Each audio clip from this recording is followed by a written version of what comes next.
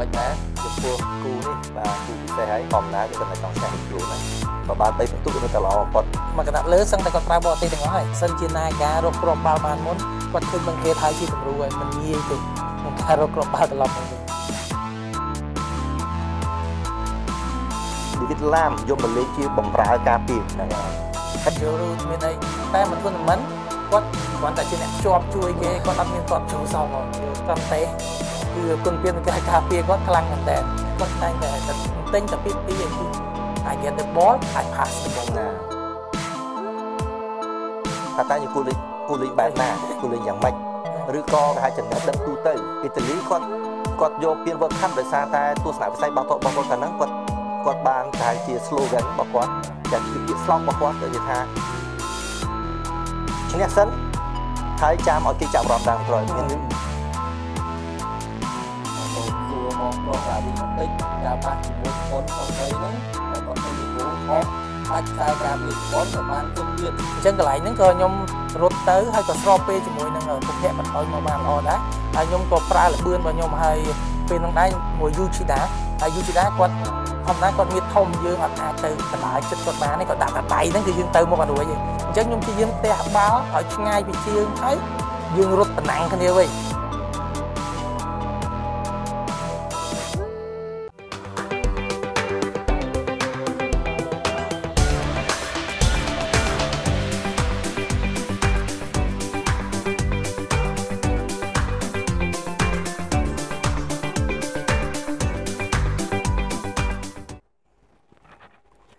បាទយើងខ្ញុំទាំង4អ្នកសូមអនុញ្ញាតគ្រប់ជំរាបសួរប្រិមិត្តដែលកំពុងទស្សនាតាម page AMS Sports បាទស្វាគមន៍ជាថ្មីមកកាន់កម្មវិធីជជែកបាល់ទាត់ខ្មែរដែលផ្សាយរៀងរាល់ថ្ងៃសុក្របាទ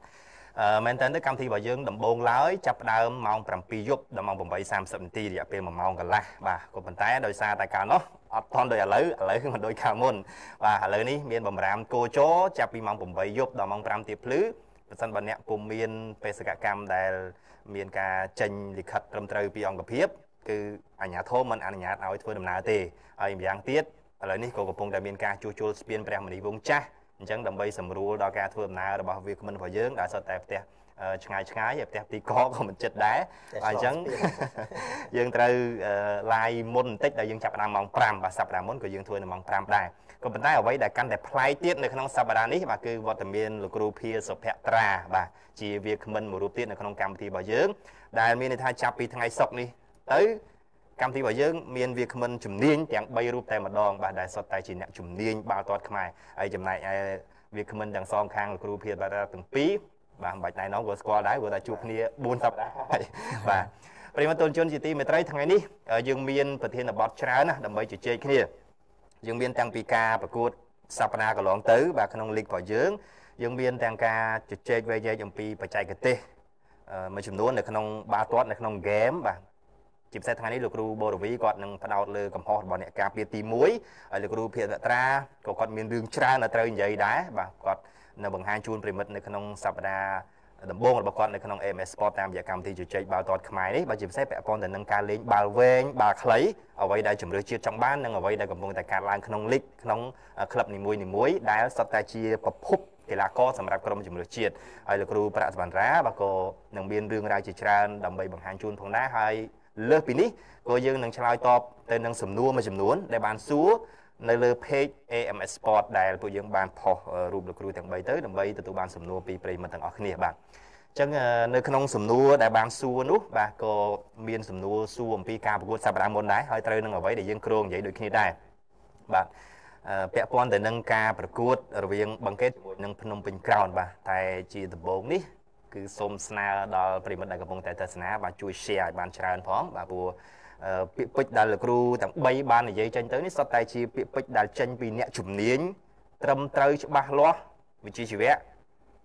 ហាត់រៀនចាយពេលអស់មិនតិចទេហើយបទពិសោធន៍ក៏ក្រាស់ក្រែលមែនទែនដែរអញ្ចឹងវាសុទ្ធតែជាចំណេះដឹងសុទ្ធតែជាអ្វីដែលមានតម្លៃអញ្ចឹងក៏សង្ឃឹមថានឹងទទួលបានការគ្រប់គ្រងការតបស្នងវិញតាមរយៈ share បានច្រើនបាទដើម្បី ធ្វើឲ្យប្រកបកាន់តែមានកម្លាំងចិត្តក្នុងការបកស្រាយឲ្យកាន់តែក្បោះក្បាយជូនដល់ប្រិមត្តទស្សនជនរបស់យើងទាំងអស់គ្នាដែរបាទនៅក្នុង comment របស់យើងនៅលើ page ដែលបានផុសអឺកាលពីព្រឹកមិញហ្នឹងមានសំណួរមួយសួរពាក់ព័ន្ធទៅនឹងការប្រកួតរវាងអឺបឹងកេតបាទជាមួយនឹងភ្នំពេញក្រោនដែលកាលពីមុនការប្រកួតចាប់ផ្ដើមអឺ មានទស្សនៈខុសៗគ្នាបាទហើយសម្រាប់ AMS Sport របស់យើងក៏បានបញ្ចេញទស្សនៈខ្លះដែរពាក់ព័ន្ធទៅនឹងការប្រកួតពីព្រោះថាការប្រកួតនេះជាការប្រកួតដែលធ្វើនៅទឹកដីបឹងកេតបាទនៅ Cambodia Airway បាទហើយ MS Sports បាទត្បិតថាជួល office នៅ Cambodia Airway នេះប៉ុន្តែមិនមែនធ្វើការដើម្បីបម្រើក្លឹបបឹងកេតឬក៏បម្រើកីឡាករខាងណាមួយទេគឺយើងជា media I grade មួយធ្វើការអឺដោយចូលលើគោលការណ៍វិជ្ជាជីវៈហើយលោកគ្រូទាំង3ទោះបីជាថាពួកគាត់ធ្លាប់ធ្វើការនៅក្លឹបនេះក្លឹបនោះក៏ប៉ុន្តែពេលនេះពួកគាត់ ជាអ្នកឯករាជ្យដូចគ្នាដែរពុំមានជាប់ពាក់ព័ន្ធជាមួយក្លឹបណាមួយទេហើយទស្សនៈដែលគាត់បានលើកឡើងចេញទៅក៏អត់មានគេហៅថាឆន្ទាគតិដោយការស្រឡាញ់លំអៀងលើសទៅខាងណាដែរគឺជាទស្សនៈដែលគាត់លើកឡើងដោយផ្អែកតាមវិជ្ជាជីវៈបទពិសោធន៍ចំណេះដឹងហើយនឹងការវិភាគអំពីសមាជិកភាពកីឡាករក្នុងក្រុមដែលកំពុងតែមានបច្ចុប្បន្នអញ្ចឹងសប្តាហ៍មុននៅក្នុងកម្មវិធីរបស់យើងពាក់ព័ន្ធទៅនឹងការប្រកួតរវាងបឹងកេតនិងភ្នំពេញក្រោនក៏យើងបានជជែកខ្លះដែរ ហើយជាការពិតការប្រកួតរបស់ភ្នំពេញក្រោននៅ Cambodia Airway ភ្នំពេញក្រោនមិនដែលឈ្នះទេតាំងពី2018មកបាទតាំងពីបឹងកេតមានកីឡដ្ឋានផ្ទាល់ខ្លួនមកគឺអត់ដែលឈ្នះបឹងកេតទេ បានត្រឹមតែស្មើឬក៏ចាញ់ប៉ុន្តែជាលើកដំបូងដែលពួកគេបានឈ្នះនៅទីនេះកាលពីអឺប្រហែលថ្ងៃមុនថ្ងៃទី6បាទខែមេសាឆ្នាំ2021តាមការមើលឃើញផ្ទាល់របស់ខ្ញុំថ្ងៃនោះក្រុមទាំងពីរ អារម្មណ៍មូលម្ដងម្នាក់វគ្គទី1បង្កេតហាក់ដូចជាមានអារម្មណ៍មូលល្អជាង មានឱកាសទាត់ទីព្រំពេញក្រោនច្រើនប៉ុន្តែចូលតែមួយគ្រាប់ទេតាមរយៈគ្រាប់បាល់របស់ម៉ាត់នូរុនដែលកំហុសរបស់យឺសាហ្វីគាត់បោះទៅរៀងខ្វះទំនាក់ទំនងបន្តិចជាមួយនឹងគ្នាគ្នាបាទអូមួយចិត្តគាត់ចេញមកក៏មិនតាន់ដែរម៉ាត់នូរុនឆាបបាល់បានយកទៅទាត់បញ្ចូលទីមួយគ្រាប់ទៅហើយបន្ទាប់មកទៀតទាំងសៀងយ៉ាន់ធាទាំងអីផ្សេងផ្សេងក៏មានឱកាសទាត់ទីដែរប៉ុន្តែមិនសូវចំគោលដៅប្រហែលទេចូលដល់វគ្គទី2បង្កេត អារម្មណ៍ចាប់ដើមប្រែប្រួលវិញជាពិសេសបន្ទាប់ពីហុលកំហុយរបួសដែលហុលកំហុយបានប៉ះទង្គិចជាមួយនឹងគ្នាឯង Anderson កាលពីចុងវគ្គទី1វគ្គទី2លេងបានបន្តិចក៏ត្រូវបានដូរចេញហើយថាច័ន្ទរទ្ធីជាអ្នកចាំទីបំរុងកីឡាករទំនុកចិត្តសំខាន់មែនទែននៅពេលដែលគាត់ខានលេងយូរហើយអង្គុយមើលយូរស្រាប់តែចូលលេងភ្លាមភ្លាមក្នុងការប្រកួតធំបំផុតមួយនៅក្នុងអាជីពរបស់គាត់ទៀតបឹងកេតនឹងភ្នំពេញក្រោន មហាជនអ្នកគ្រប់គ្រងបាល់ទាត់ជាតិច្រើននៅប្រៀបធៀបថា El Clasico ខ្មែរបាទអញ្ចឹងចូលទៅមកផ្លេតភ្លាមឈរជើងមិនតាន់ទាំងស្វំទីលានផងស្រាប់តែយូដៃបាទបាល់ស្រូដាច់មកមកគ្រាប់តាមស្មើហើយ2នាទីសិនតែមិនដល់2នាទីផងបាល់ឆ្លងទៅខាង Set Rozip បាទកីឡាករ Valery សមាជិកថ្មីដ៏ល្អរបស់ភ្នំពេញក្រោនហ្នឹងជនជាតិអ៊ុយក្រែនបានតបបញ្ចូលទីមួយគ្រាប់ទៀតឈ្នះ ភ្នំភ្នំមីក្រោនឈ្នះបឹងកេត2ទល់នឹង1ដែលជាជ័យជំនះលើកដំបូងរបស់ពួកគេនៅ Cambodia Airway កន្លែងនេះគឺជាក្របរបស់ Udai Ogawa បាទកន្លែងនេះពាក់ព័ន្ធទៅនឹងក្របបាល់វីបកក៏ដូចជាការប្រកួតនឹងដែរបាទសម្រាប់លោកគ្រូទាំង3មានទស្សនៈយ៉ាងណាដែរបាទចាប់ដើមពីលោកគ្រូភៀតបត្រាមុនចុះឥឡូវយើងសុំខាមកវិញណាយើងសន្មតថាយើងអត់ទាន់មានការប្រកួតបាទប៉ុន្តែការវិភាគឬការសន្និដ្ឋានរបស់ខ្ញុំទី1យើងនិយាយអំពីស្ថានភាព រវាង ground ហើយនឹងបឹងកេតដែលមានការប្រកួតពីរប្រកួតបឹងកេតមួយប្រកួត ហើយបឹងកេតចាញ់ Naga បាទអឺខ្ញុំក៏ជាអ្នកដែលគ្រប់គ្រងបើនិយាយពីអារម្មណ៍វិញគឺគ្រប់គ្រង ground បាទដោយសារខ្ញុំពេញចិត្តអំពីទស្សនវិស័យនៃការវិវត្តយុវជនរបស់ក្លឹបអឺភ្នំពេញ ground តែបើយើងនិយាយអំពីការប្រកួតដែលត្រូវជួបខ្ញុំលើកយកចំណុចមួយចំនួនដែលជាមូលដ្ឋានក្នុងការវិតម្លៃ ទីមួយខ្ញុំឃើញអំពីការប្រកួត background ជាមួយនឹង Sotilo ដែលយើងគិតថាជាការប្រកួតដែលមានការប្រកួតប្រជែងទៀតបាទដោយសារប៉ះមួយ Sotilo ហើយអញ្ចឹងគេងាយក្នុងការបង្កើតឱកាសក្នុងការរកគ្រាប់ត្រឡប់មកវិញជាមួយនឹងគ្រីវងបាទ ក្រោនឈ្នះប៉ុន្តែក្នុងស្ថានភាពដែលខ្ញុំមើលឃើញគឺក្រោនកាត់ផ្ដាច់បាល់ដែលគ្រីវងវីបកប្រហែលដងអត់បានបើអីតែគ្រីវងរកគ្រាប់មិនបាននៅពេលដែលវីបកប៉ុន្តែនេះជាចំណុចមួយដែលក្រោនមានចំណុចខ្សោយអញ្ចឹងខ្ញុំក៏អាចវាតម្លៃថាមានបញ្ហាច្រើនសម្រាប់ក្រោនក្នុងការបង្កើតឱកាសជាមួយនឹងបឹងកេតហើយយើងត្រឡប់មកបឹងកេតវិញចាញ់ណាកា1-0បាទតែជាការចាញ់មួយដែលថាក្របភ្លាត់នៃការវិបកហ្នឹងវាតែងតែកើតឡើងក្នុងកលសៈណាមួយបាទ តែបើយើងនិយាយអំពីស្ថានភាពទូទៅនៃការលេងបឹងកេតគឺធ្វើការខ្លាំងក្នុងការបង្កើតឱកាសជាមួយនឹង deep defense មានន័យថាណាកាគេតម្លាក់ជ្រៅតែលោកគ្រូបាទបាទអញ្ចឹងណាការលាក់ជ្រៅនេះជាហេតុផលដែលបឹងកេតដែលពិបាកក្នុងការរកគ្រាប់ក្នុងការយកឈ្នះមកលើណាកាវិញនេះជាហេតុផលមួយអញ្ចឹងបើតាមការវិតម្លៃហើយម្យ៉ាងបឹងកេតក៏អត់មានការប្រកួតដល់ពីប្រកួតដែរអញ្ចឹង team performance ក៏អាចត្រូវ rest ដែរ ព្រោះពេលវេលានៃការមិនមិនគេហៅ maintenance ណាការរក្សាស្ថានភាពរបស់ក្រុមហ្នឹងក៏មិនមិនមិនសមប្រកបដូច ground គេមានការប្រកួតពីប្រកួតបាទអញ្ចឹងគឺជាហេតុផលមួយអញ្ចឹងបើសិនជាខ្ញុំចូលរួមទូទាពេលនោះក៏ខ្ញុំគិតថាបឹងគេមានមានប្រៀបដែរហើយត្រឡប់មកវិញឥឡូវយើងនិយាយអំពីស្ថានភាពមួយខ្ញុំនិយាយត្រឹមតែវគ្គទី1សិនទេចាំដល់ចូលវគ្គទី2ចាំឲ្យលោកគ្រូបូរវីបន្ថែមនៅចំណុចដែល ground គេរកគ្រាប់បាល់បាន នៅវគ្គទី1ខ្ញុំឃើញបឹងកេតមានប្រសិទ្ធភាពជាង ground មួយត្រង់ចំណុចថាការកាត់ផ្ដាច់បាល់ទី2នៅតំបន់បំរើរវាងមីសូណូបាទមីសូណូជាមួយនឹងកេនតាពីរនេះតែងតែយកបាល់បានរហូតដែលធ្វើឲ្យ ground រកឱកាសនៃការវីបកមកវិញអត់បានទេស្ថានភាពតិចតួចណាស់ដែល ground អាចលេងមកមុខទីបឹងកេតខ្ញុំឃើញកន្លែងហ្នឹងមួយបឹងកេតគេអាចធ្វើបានហើយបើយើងនិយាយអំពីកំហុសគ្រាប់បាល់នេះសម្រាប់អ្នកវិភាគខ្ញុំគិតថាវាជារឿងមួយដែលត្រូវកែតម្រូវ ទៅលើរបៀបរបបនៃការបោះឲ្យតែប៉ុណ្្នឹងឯងប៉ុន្តែបើនិយាយពីស្ថានភាពទូទៅរបស់ក្រុមបឹងកេតអាចដូចជាមានប្រៀបជាងក្នុងការកាត់ផ្ដាច់បាល់ទី2អញ្ចឹងធ្វើឲ្យមានការវិបករបស់ ground ធ្វើបានប៉ុន្តែដល់ពេលចូលវគ្គទី2មានការប្រែប្រួលទៅលើស្ថានភាពការផ្លាស់ប្ដូរកីឡាករហើយត្រឡប់មកវិញទៀតចុះនៅវគ្គទី1បង្កេតក៏លេងនៅក្នុងស្ថានភាពដែល ground តម្លាក់ទាំងពីរក្រុមគឺតម្លាក់ដូចគ្នាតែគ្រាន់តែថាពេលខ្លះបង្កេតរក ការកាត់ផ្ដាច់បាល់ទី2បានពេលខ្លះនៅពេលដែលបង្កេតយកបានដណ្ដើមបាល់អត់បានគឺតម្លាក់មកជ្រៅដូចគ្នាស្ថានភាពហ្នឹងលោកគ្រូគិតដូចខ្ញុំហ៎ព្រោះខ្ញុំឃើញជាក់ស្ដែងគឺអញ្ចឹងមែននៅពេលដែលបង្កេតបានបាល់ ground តម្លាក់មក deep មកជាក្រុមគេថា set compact defense របស់គេច្រើនចឹងធ្វើឲ្យបឹងគេត្រូវការបង្កើតឱកាសតាមរយៈ ball possession អត់មានឱកាសបាត់បាល់ transition បឹងគេអាចយកបានមកវិញ ឥឡូវយើងមើលស្ថានភាពកន្លែងនេះបាទនេះនេះអ្វីដែលខ្ញុំចង់និយាយរូបភាពនៅពេលដែលមានរូបភាពនេះគឺពាក់ព័ន្ធនឹងភាពស្មុគស្មាញក្នុងការបង្កើតឱកាសអូ free free shooting អត់មានទេគឺណែនមែនតើតម្លាក់គុំតែពីរបារម្ភដូចគ្នាតម្លាក់ជ្រៅដូចគ្នាបាទហើយនៅពេលដែលខ្ញុំឃើញចំណុចខ្លះក្រោមតារាបាល់បានតំបន់បំរើនិយាយម្ដងហើយមកទៀតថាតំបន់បំរើគឺតែងតែកាត់ផ្ដាច់បានរហូតនេះអឺរឿងមួយហើយបើចូលមកដល់វគ្គទី2ខ្ញុំមើលចំណុចមួយទៀតគឺពាក់ព័ន្ធនឹង effect ទៅលើ substitution បាទកីឡាករម្ដងកន្លែងនេះហើយគឺសំខាន់ណាស់សម្រាប់បាល់តសម័យទំនើបគ្រូដែលមាន flexible ក្នុងការបត់បែនគឺជាគ្រូដែលមានការសម្រេចចិត្តមួយទៅនឹងស្ថានភាពនិងឱកាសគាត់មើលឃើញអំពីចំណុចខ្វះខាតនៃក្រុមដទៃគាត់បដូរកីឡាករដែល effect ការប្រកួតរបស់គាត់ចូលទៅគឺបានផលហ្មងបាទបាទនេះយើងយើងយើងនិយាយអំពីចំណុចភាពឆ្លៀវវៃរបស់គ្រូបង្វឹកណាបាទខ្ញុំមានប៉ុណ្ណឹងបាទបាទណៃបូរវីចំពោះខ្ញុំវិញចំណាប់ ពោះការប្រកួតក្រុមទាំងពីរគឺការប្រកួតមួយដ៏ល្អកីឡាក្រុមទាំងពីរហ្នឹងគឺលេងបាននេះគាត់លេងដោយគោរពវិន័យខ្លាំងតែ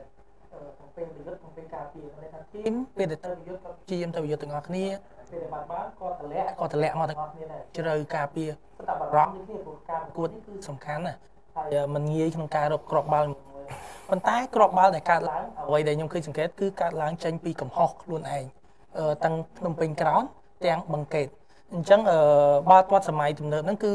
អ្វីដែលយើងរកបាល់ច្រើនដោយសារក្រុមមួយគាត់មានការរៀបចំមានការនិយាយទៅបារម្ភខ្លាំងមែនទែនពេលការពារប៉ុន្តែពេលដែលគាត់រៀបចំប្រយុទ្ធ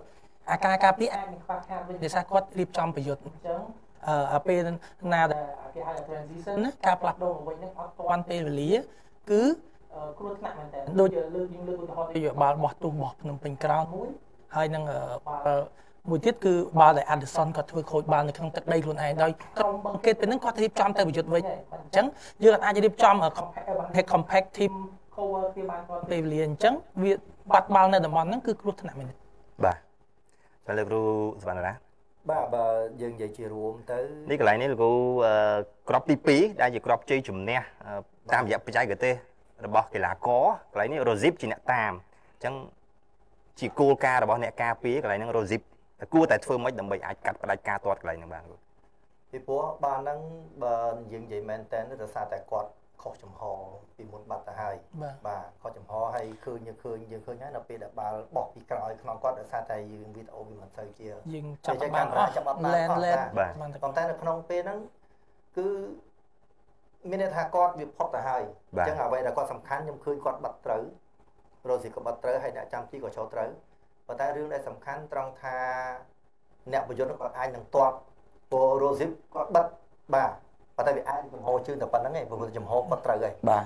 ដំបូងយើងឃើញឃើញរ៉ូស៊ីបគាត់គៀកដែរបាទគាត់គៀកតែដល់ទៅពេលបាល់ដែលមកជាប់ជើងខ្សែប្រយុទ្ធខាងក្រោមគាត់បែរទៅបង្កើតគម្លាតវិញគាត់គាត់អត់ហើយតែអឺទេខ្ញុំមានសន្និដ្ឋានថាមុំដែលគាត់តតចូលនេះយ៉ាងច្រើន goal probability ណាត្រឹមបាទ26អីទេ25 26%ឯងបាទតែគិតថាសម្រេចទីព្រោះមុំទូចហ៎ បាទបាទមុំទូចមែនទែនហើយចម្ងាយក៏មិនមែនគៀកប្រហែលដែររឿងវាអាចកើតមានដោយសារអញ្ចេះយើងមើលទៅបាល់បាននៅជាពិសេសរបស់អឺរ៉ុបបាទគឺភាគច្រើនគេហៅអ្នកប្រយុទ្ធដូចជាពិសេសនេម៉ាក៏ចូលចិត្តធ្វើហ្នឹងសង្វាតតមានន័យថាសម្បត្តិតបប្រឡោះជើងអ្នកការពារបាទយើងឃើញបាល់បាល់ហ្នឹងគឺថារ៉ូស៊ីបគាត់លើកជើងយ៉ាងខ្ពស់តិច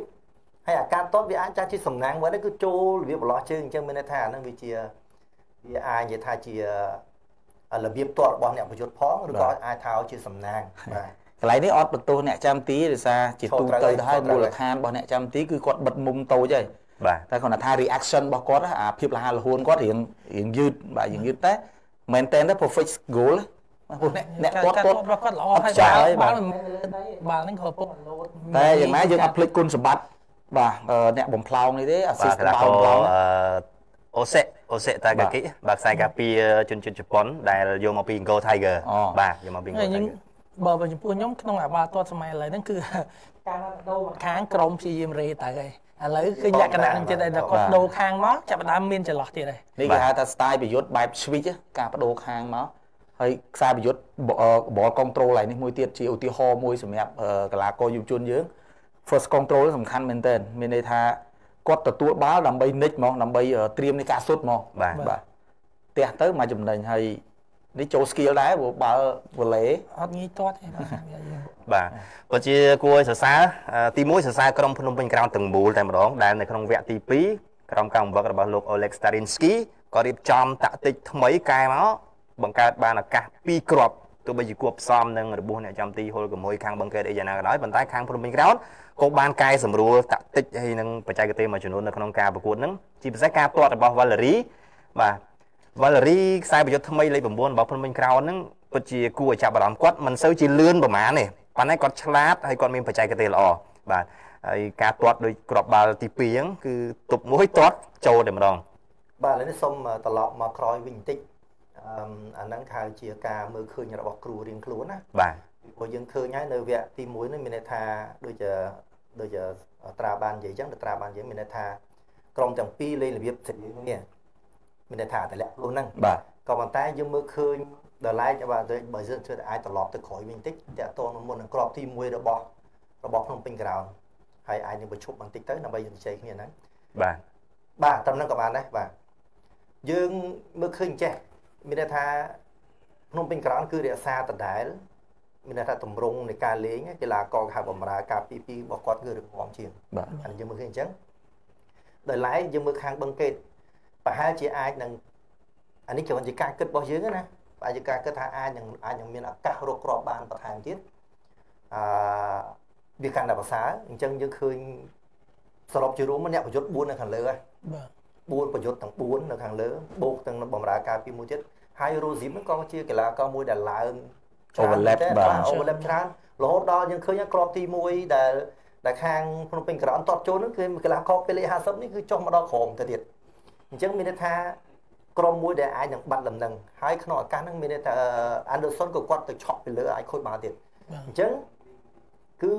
អឺការលេងពេលខ្លះគេហៅទម្លាប់យើងលេងដដែលដដែលដល់ពេលការផ្លាស់ប្ដូរកីឡាករអ្វីក៏បដូរដែរអញ្ចឹងនេះជាហេតុផលមួយដែលអឺភ្នំពេញក្រៅក៏គាត់មានឱកាសដោយសារគាត់តាំងពីលេងពីដើមរហូតមកដល់ឥឡូវការការប្រកួតដំបូងមកដល់ឥឡូវគាត់អត់មានការប្រែប្រួលឡើយបាទគាត់ថាប្លែកតិចប្លែកជាលើកនេះគាត់ថាគាត់ ដូចជាមានអារម្មណ៍គិតទៅលើការពារច្រើនអានេះជាហេតុផលបាទបាទអឺភ្នំពេញក្រោនបើមែនតើទៅខ្ញុំដោយលោកគ្រូភិវត្រាបានលើកឡើងពីដំបូងដែរអញ្ចឹងអឺការប្រកួតនេះអឺស្មោះត្រង់ខ្ញុំគិតថា50 50ទេពីព្រោះអឺទី1បឹងកេតគឺជាក្រុមការពារជើងឯកហើយជាក្រុមដែលលេងនៅក្នុងទឹកដីខ្លួនឯងជាកន្លែងដែលភ្នំពេញក្រោនខានឈ្នះតាំងពី2008តាំងពីមានកីឡាដ្ឋានហ្នឹងមកបឹងកេតអឺ មិនដែលចាញ់ក្រោននៅទីនេះទេហើយគូផ្សំនឹងសមាជិកភាពកីឡាកររបស់ភ្នំភ្នំពេញក្រោនវិញបើនិយាយអំពីថ្មីទាំងស្រុងតែម្ដងគឺតែ Valerie មួយទេបើក្រៅពីនេះតាកាគីអូសេលេងក្នុងស្រុកស្រាប់យកពី Go Tiger Mater Susa យកពី Sotilo បាទអតីតកូនសិលគ្រូសវណ្ណរានៅកោបាជាតិដែរហើយលោកគ្រូសវណ្ណរាហ្នឹងឯងអ្នកយក Mater Susa ហ្នឹងមកផ្ទាល់តែម្ដងយូដៃអូកបាក់លេងនៅកម្ពុជាយូរហើយតាំងពីលោកគ្រូភាពកត្រាជាគ្រូនៅកងយុទ្ធពលខេត្តប្រមុនកូនសិស្សលោកគ្រូធាបាទអញ្ចឹងថ្មីតែវ៉ាឡេរីទេក្រៅពីហ្នឹង ថ្មីសម្រាប់ក្រោនប៉ុន្តែមិនមែនថ្មីសម្រាប់បាល់ទាត់កម្ពុជាទេហើយលោក Oleg Starinsky ក៏ជាគ្រូថ្មីសម្រាប់រដូវកាលនេះប៉ុន្តែក៏មិនមែនថ្មីសម្រាប់គាត់ព្រោះគាត់ធ្លាប់នៅក្រៅដែរប៉ុន្តែ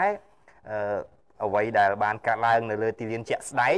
ខុសគ្នាបន្តិចបន្តិចដែលនាំឲ្យមានក្របបាល់ការប្រកួតនោះបើមែនតើទៅ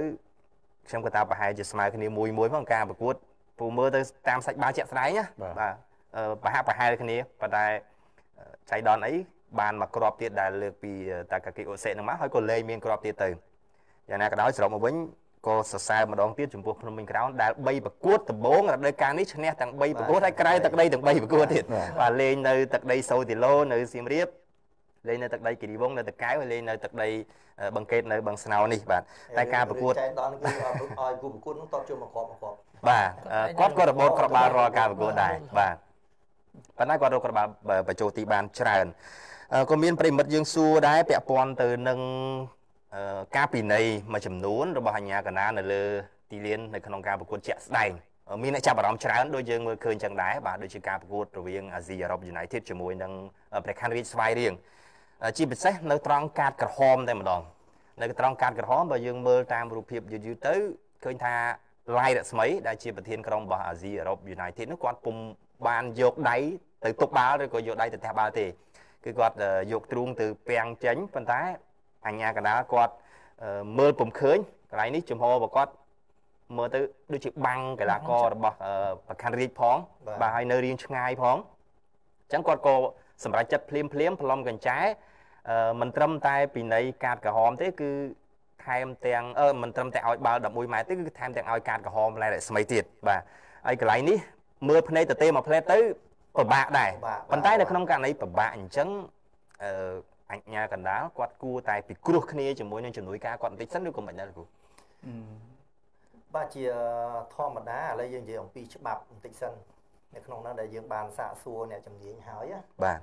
គាត់ថានៅពេលដែលអ្នកការពារចុងក្រោយអាចจะទុកចុងក្រោយដែរស្មើហ្នឹងគឺនៅពេលដែលមានចេតនាយកបាល់ទៅផ្ទះយកដៃទៅផ្ទះបាល់ទៅប៉ះបាល់ហ្នឹងគឺ គឺ100%គឺត្រូវតែពេណាល់ទីហើយពេណាល់ទីហើយត្រូវតែការកំហំអានេះគឺជាច្បាប់អឺអញ្ចឹងបើសិនមានន័យថាបើសិនជាគាត់សម្រេចថោអាហ្នឹងវាបើវិនាទីវាអូតូម៉ាទិកហើយហ្នឹង100%តែកាត់ក្រហមប៉ុន្តែគាត់ថាដូចយើងនិយាយមិញអញ្ចឹងពីដើមអញ្ចឹងថាជ្រុងដែលគាត់ឈរហ្នឹងក៏វាមិនតាន់100%ថាវាវាចំណាចឹងនិយាយថាអាវាគាត់ឈរអត់ចំហើយការសម្រេចចិត្តរបស់គាត់ហ្នឹងបើសិនជាកំណត់ខ្ញុំផ្ទាល់ដូចជាលឿនបន្តិចបាទតាមតំណាបើសិនជាយើងអាចថា50%ឬក៏ យ៉ាងណាហ្នឹងក៏អាចនឹងភាសាជាមួយនឹងអឺជំនួយការរបស់គាត់ដើម្បីទៅជែកឲ្យបានច្រើនបន្តិចពីព្រោះយើងអត់មានអីព្រោះតែសម្រាប់ហ្នឹងវាសម្រាប់មានអីត្រឡប់មកវិញព្រោះបើសិនជាយើងមានវវាអហ្នឹងយើងអាចថាអូមើលឡើងវិញអានេះថាបាទនេះគ្រាន់តែមុំមុំមួយជ្រុងមួយយើងពិបាកសន្និដ្ឋានណានិយាយរួមប្រធានបទដែលយើងលើកឡើងនេះត្រង់ថាអឺកាតក្រហមតែជាទូទៅដោយលោកគ្រូបានលើកឡើងហើយថា ទៅតាពីនៃដល់អញ្ចេះហើយគឺការក្រហមគេឲ្យរៀបរៀងក្របបាល់បាទរៀបរៀងក្របបាល់តចូលជាក់ស្ដែងហើយបើយើងប្រៀបធៀបជាមួយនឹងបាល់ប៉ះដៃមួយទៀតរបស់កីឡាករស្វ័យរៀងដែលធ្វើឲ្យមានបាល់ពេលនាទីមួយដែរសម្រាប់អាស៊ីអឺរ៉ុបអត់មានការទៅទៀតអត់បាទហ្នឹងយើងគិតថាបើយើងនិយាយពីភាគរយនៃការសម្រេចទីវិញកន្លែងនេះ99%អាចចូលទីប៉ុន្តែត្រូវបានរៀបរៀងបាទហើយបើយើងលើកប្រធានបទវិញថាបាល់ហ្នឹងមិនបាល់ហ្នឹងអត់ប៉ះដៃយើងមើលអញ្ចឹងមុំបល័យនេះ យើងមើលថាអត់ប៉ះដៃក៏យើងអាចនិយាយបានឬនេះជាការមិនទើសង្ស័យប៉ុន្តែយើងមើលកាយវិការឬក៏ទីតាំងរបស់អាញាកដាគាត់គួរតែ focus ឲ្យលឿនជាងនឹងបន្តិចណាព្រោះបាល់ដែលប៉ះមកគាត់គួរតែ reaction ទៅរកកន្លែងមុំដែលគាត់ត្រូវចាប់តែសម្រាប់ខ្ញុំវិញខ្ញុំវាតម្លៃមួយបាទឥឡូវបើថាយើងមើលឃើញកន្លែងរូបភាពបាល់កន្លកមកថាប៉ាន់ទ្រូងឬក៏ដៃយើងមើលដឹងប៉ុន្តែខ្ញុំមើលរូបភាព reaction របស់កីឡាករស្វ័យរៀងទាំងគេទាំងខ្ញុំវាគ្រូបាទ តែឃើញប៉ះយើងលើកដៃតបហើយត្រូវឬបាទបើអត់ប៉ះមករឿងអីទៅលើកដៃក៏ទៅមាន reaction ហ្នឹងអត់មានទេអញ្ចឹងកន្លែងនេះឡាយរស្មីអឺសរិទ្ធគ្រិយាប្រហែលអ្នកដែលនៅហ្នឹងមីកា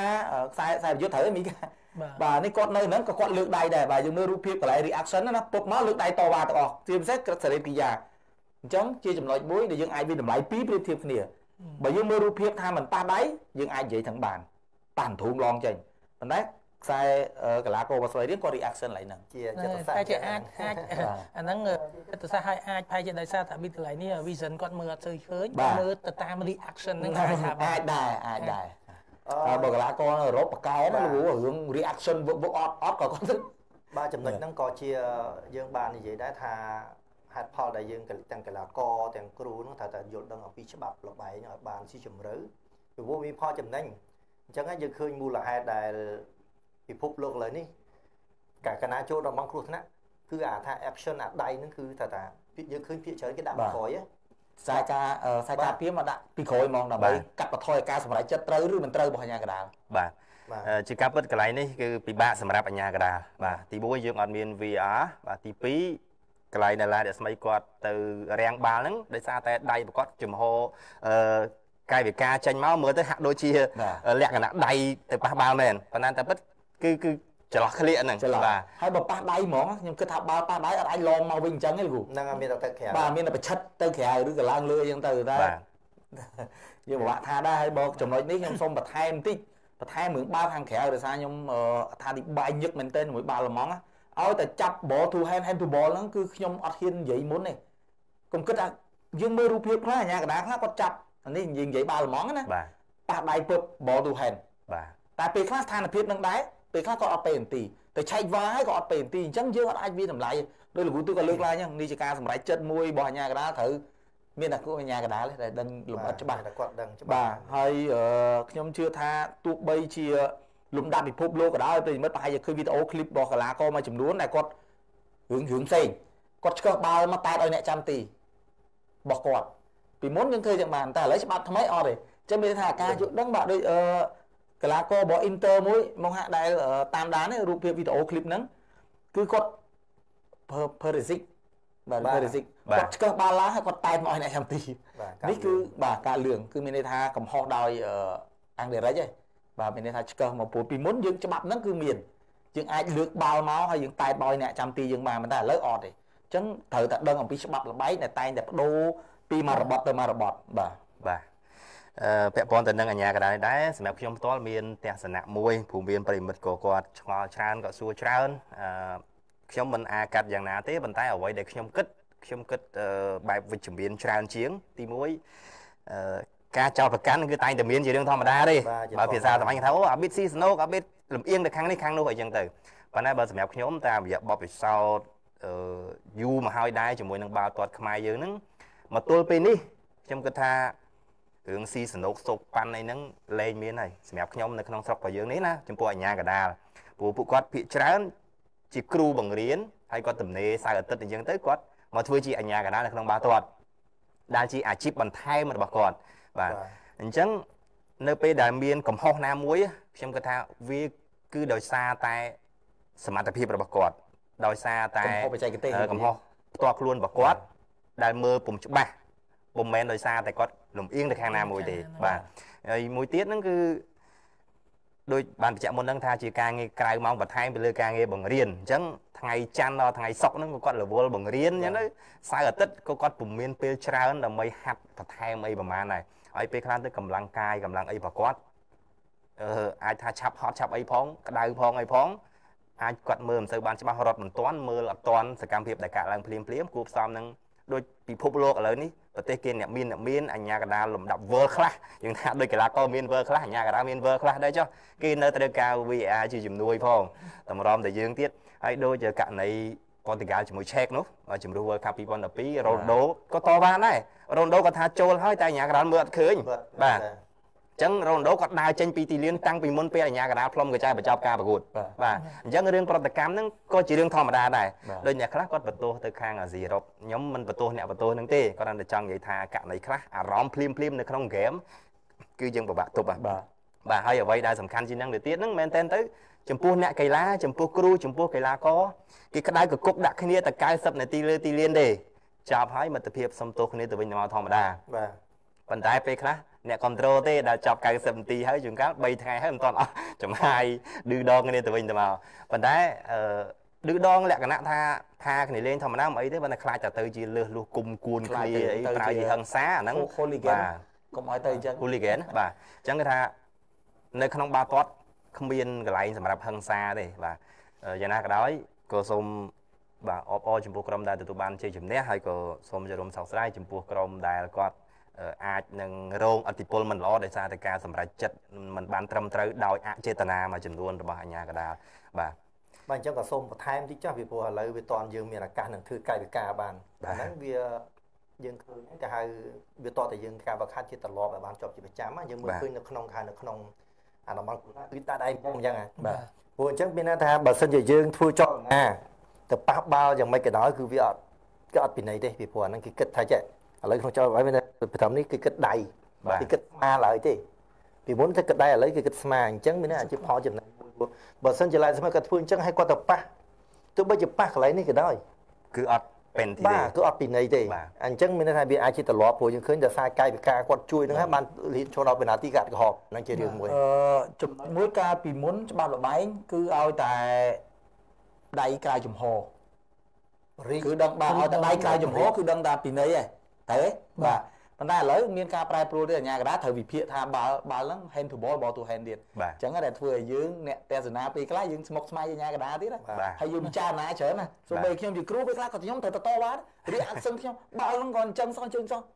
បាទមកដល់ឥឡូវក៏យើងនៅតែវែងអញ្ចឹងបាទយើងតាមដានរងថ្ងៃទៅវែងថាមិនដឹងចាក់ឲ្យវិនិច្ឆ័យមួយណាអញ្ចឹងអាញាកដាតែគាត់កំពុងតែផ្លុំបាទប្រើកម្លាំងប្រើគូក្បាលរត់តែពិបាកទៅទៀតបាទវាអត់ពីស្រួលទេហើយមួយទៀតអឺដូចជាឧទាហរណ៍ថាឥឡូវបាល់អា យើងកំពុងតែនៅក្នុងប្រអប់សិតតែបាល់ហោះមកបុកយើងហើយឡងប៉ះដៃប៉ះអីលោកគ្រូវីបាទខ្ញុំអ่าយើងទៅសិក្សាឯងថ្មីនេះឆ្នាំ2021នេះបាទគឺអាហ្នឹងគេហៅបាល់ផ្លាតគឺកាលណាដែលប៉ះស្អីក៏ដោយនៃដងខ្លួនដែលអាចដែលយើងអត់គិតថាវាក្រៅពីដៃហើយឡងមកវិញប៉ះដៃគឺយើងថាអចេតនាអាហ្នឹងគឺថាយើងបើកដងខ្លួនដូចជាពេលដួលតាក់អីហ៎បុកដៃហើយធ្លាក់បុកខ្លួនធ្លាក់មកប៉ះដៃក៏គេអត់អត់ទេនឹងទីហ្នឹងបាទបាទ អរគុណប្រិមិត្តដែលយើងនៅសល់រឿងរ៉ាវជាច្រើនទៀតដើម្បីជជែកគ្នាតែខណៈនេះយើងខ្ញុំទាំង4អ្នកសូមអនុញ្ញាតសម្រាប់មួយផ្លែតសិនបាទបាទជួបគ្នាជាបន្តទៀតនៅក្នុងវគ្គទី2បាទ break មួយផ្លែតដោយទស្សនិកជនច្រើនដែរបណ្ដាអីតិចទៀតគាត់មកវិញហើយបាទអឺចំពោះវគ្គទី2របស់យើងនៅក្នុងពេលនេះយើងជជែករឿងថ្មីមួយទៀតបាទរឿងបង្កេតមួយក្រោនរឿងអាញាកដាលប្រខណ្ឌរាជជាមួយនឹងអាស៊ីអឺរ៉ុបហើយនឹងការប្រកួតផ្សេងៗក៏យើងបាននិយាយនៅក្នុងវគ្គទី1ហើយដែរឥឡូវវគ្គទី2នេះយើងនិយាយអំពី កំហុសមួយចំនួន ដែលកើតឡើងដោយអ្នកការពារទី1ហើយនឹងអំពីគ្រាប់បាល់គាត់បញ្ចូលទីព្រៃវែងបាទព្រៃវែងប្រកួតដំបូងជាមួយនឹង Go Tiger មួយស្មើបាទប៉ុន្តែទៅទឹកដីគិរីវង្សចាញ់គិរីវង្ស3ទល់0លើកនេះការប្រកួតផ្លូវការប៉ុន្តែការប៉ះគ្នា President ក៏ចាញ់គិរីវង្សដែរបាទអឺលោកគ្រូវីក៏សម្គាល់ឃើញចំណុចអ្វីចេញពីការប្រកួតរបស់ព្រៃវែងទល់នឹងគិរីវង្សសប្តាហ៍កន្លងទៅនេះអឺចំពោះអឺការលេងជាជាទូទៅយើងមើលការលេងអឺជាទូទៅជាអត់ស្អីជាមានបញ្ហាប៉ុន្តែអឺប្រៃវែងអឺអ្វីដែលខ្ញុំសង្កេតមើលគាត់លេងពីគួយកន្លងមកនេះគឺបញ្ហាគឺតកតងនឹងការការពារបាល់បាល់ចេញពីខាងបាល់ក្រោះហ្នឹងហើយអឺជាទូទៅយើងដឹងហើយប្រៃវែងអឺតាមសង្កេតតម្រងដែលគាត់លេងគឺគាត់ព្យាយាមលេងអឺបង្កើតបានន័យថា pressing ច្រើនកន្លែងអញ្ចឹងកន្លែងណាមានបាល់គាត់ព្យាយាម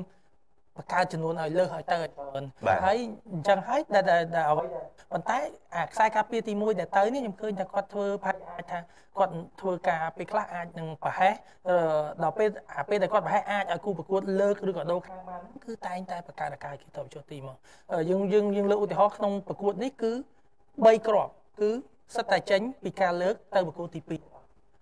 អញ្ចឹងអឺហើយបូកនឹងប្រកួតមុនមួយគ្រាប់ទៀតអញ្ចឹង4គ្រាប់ហើយអញ្ចឹងអឺបើសិនជាអាចថា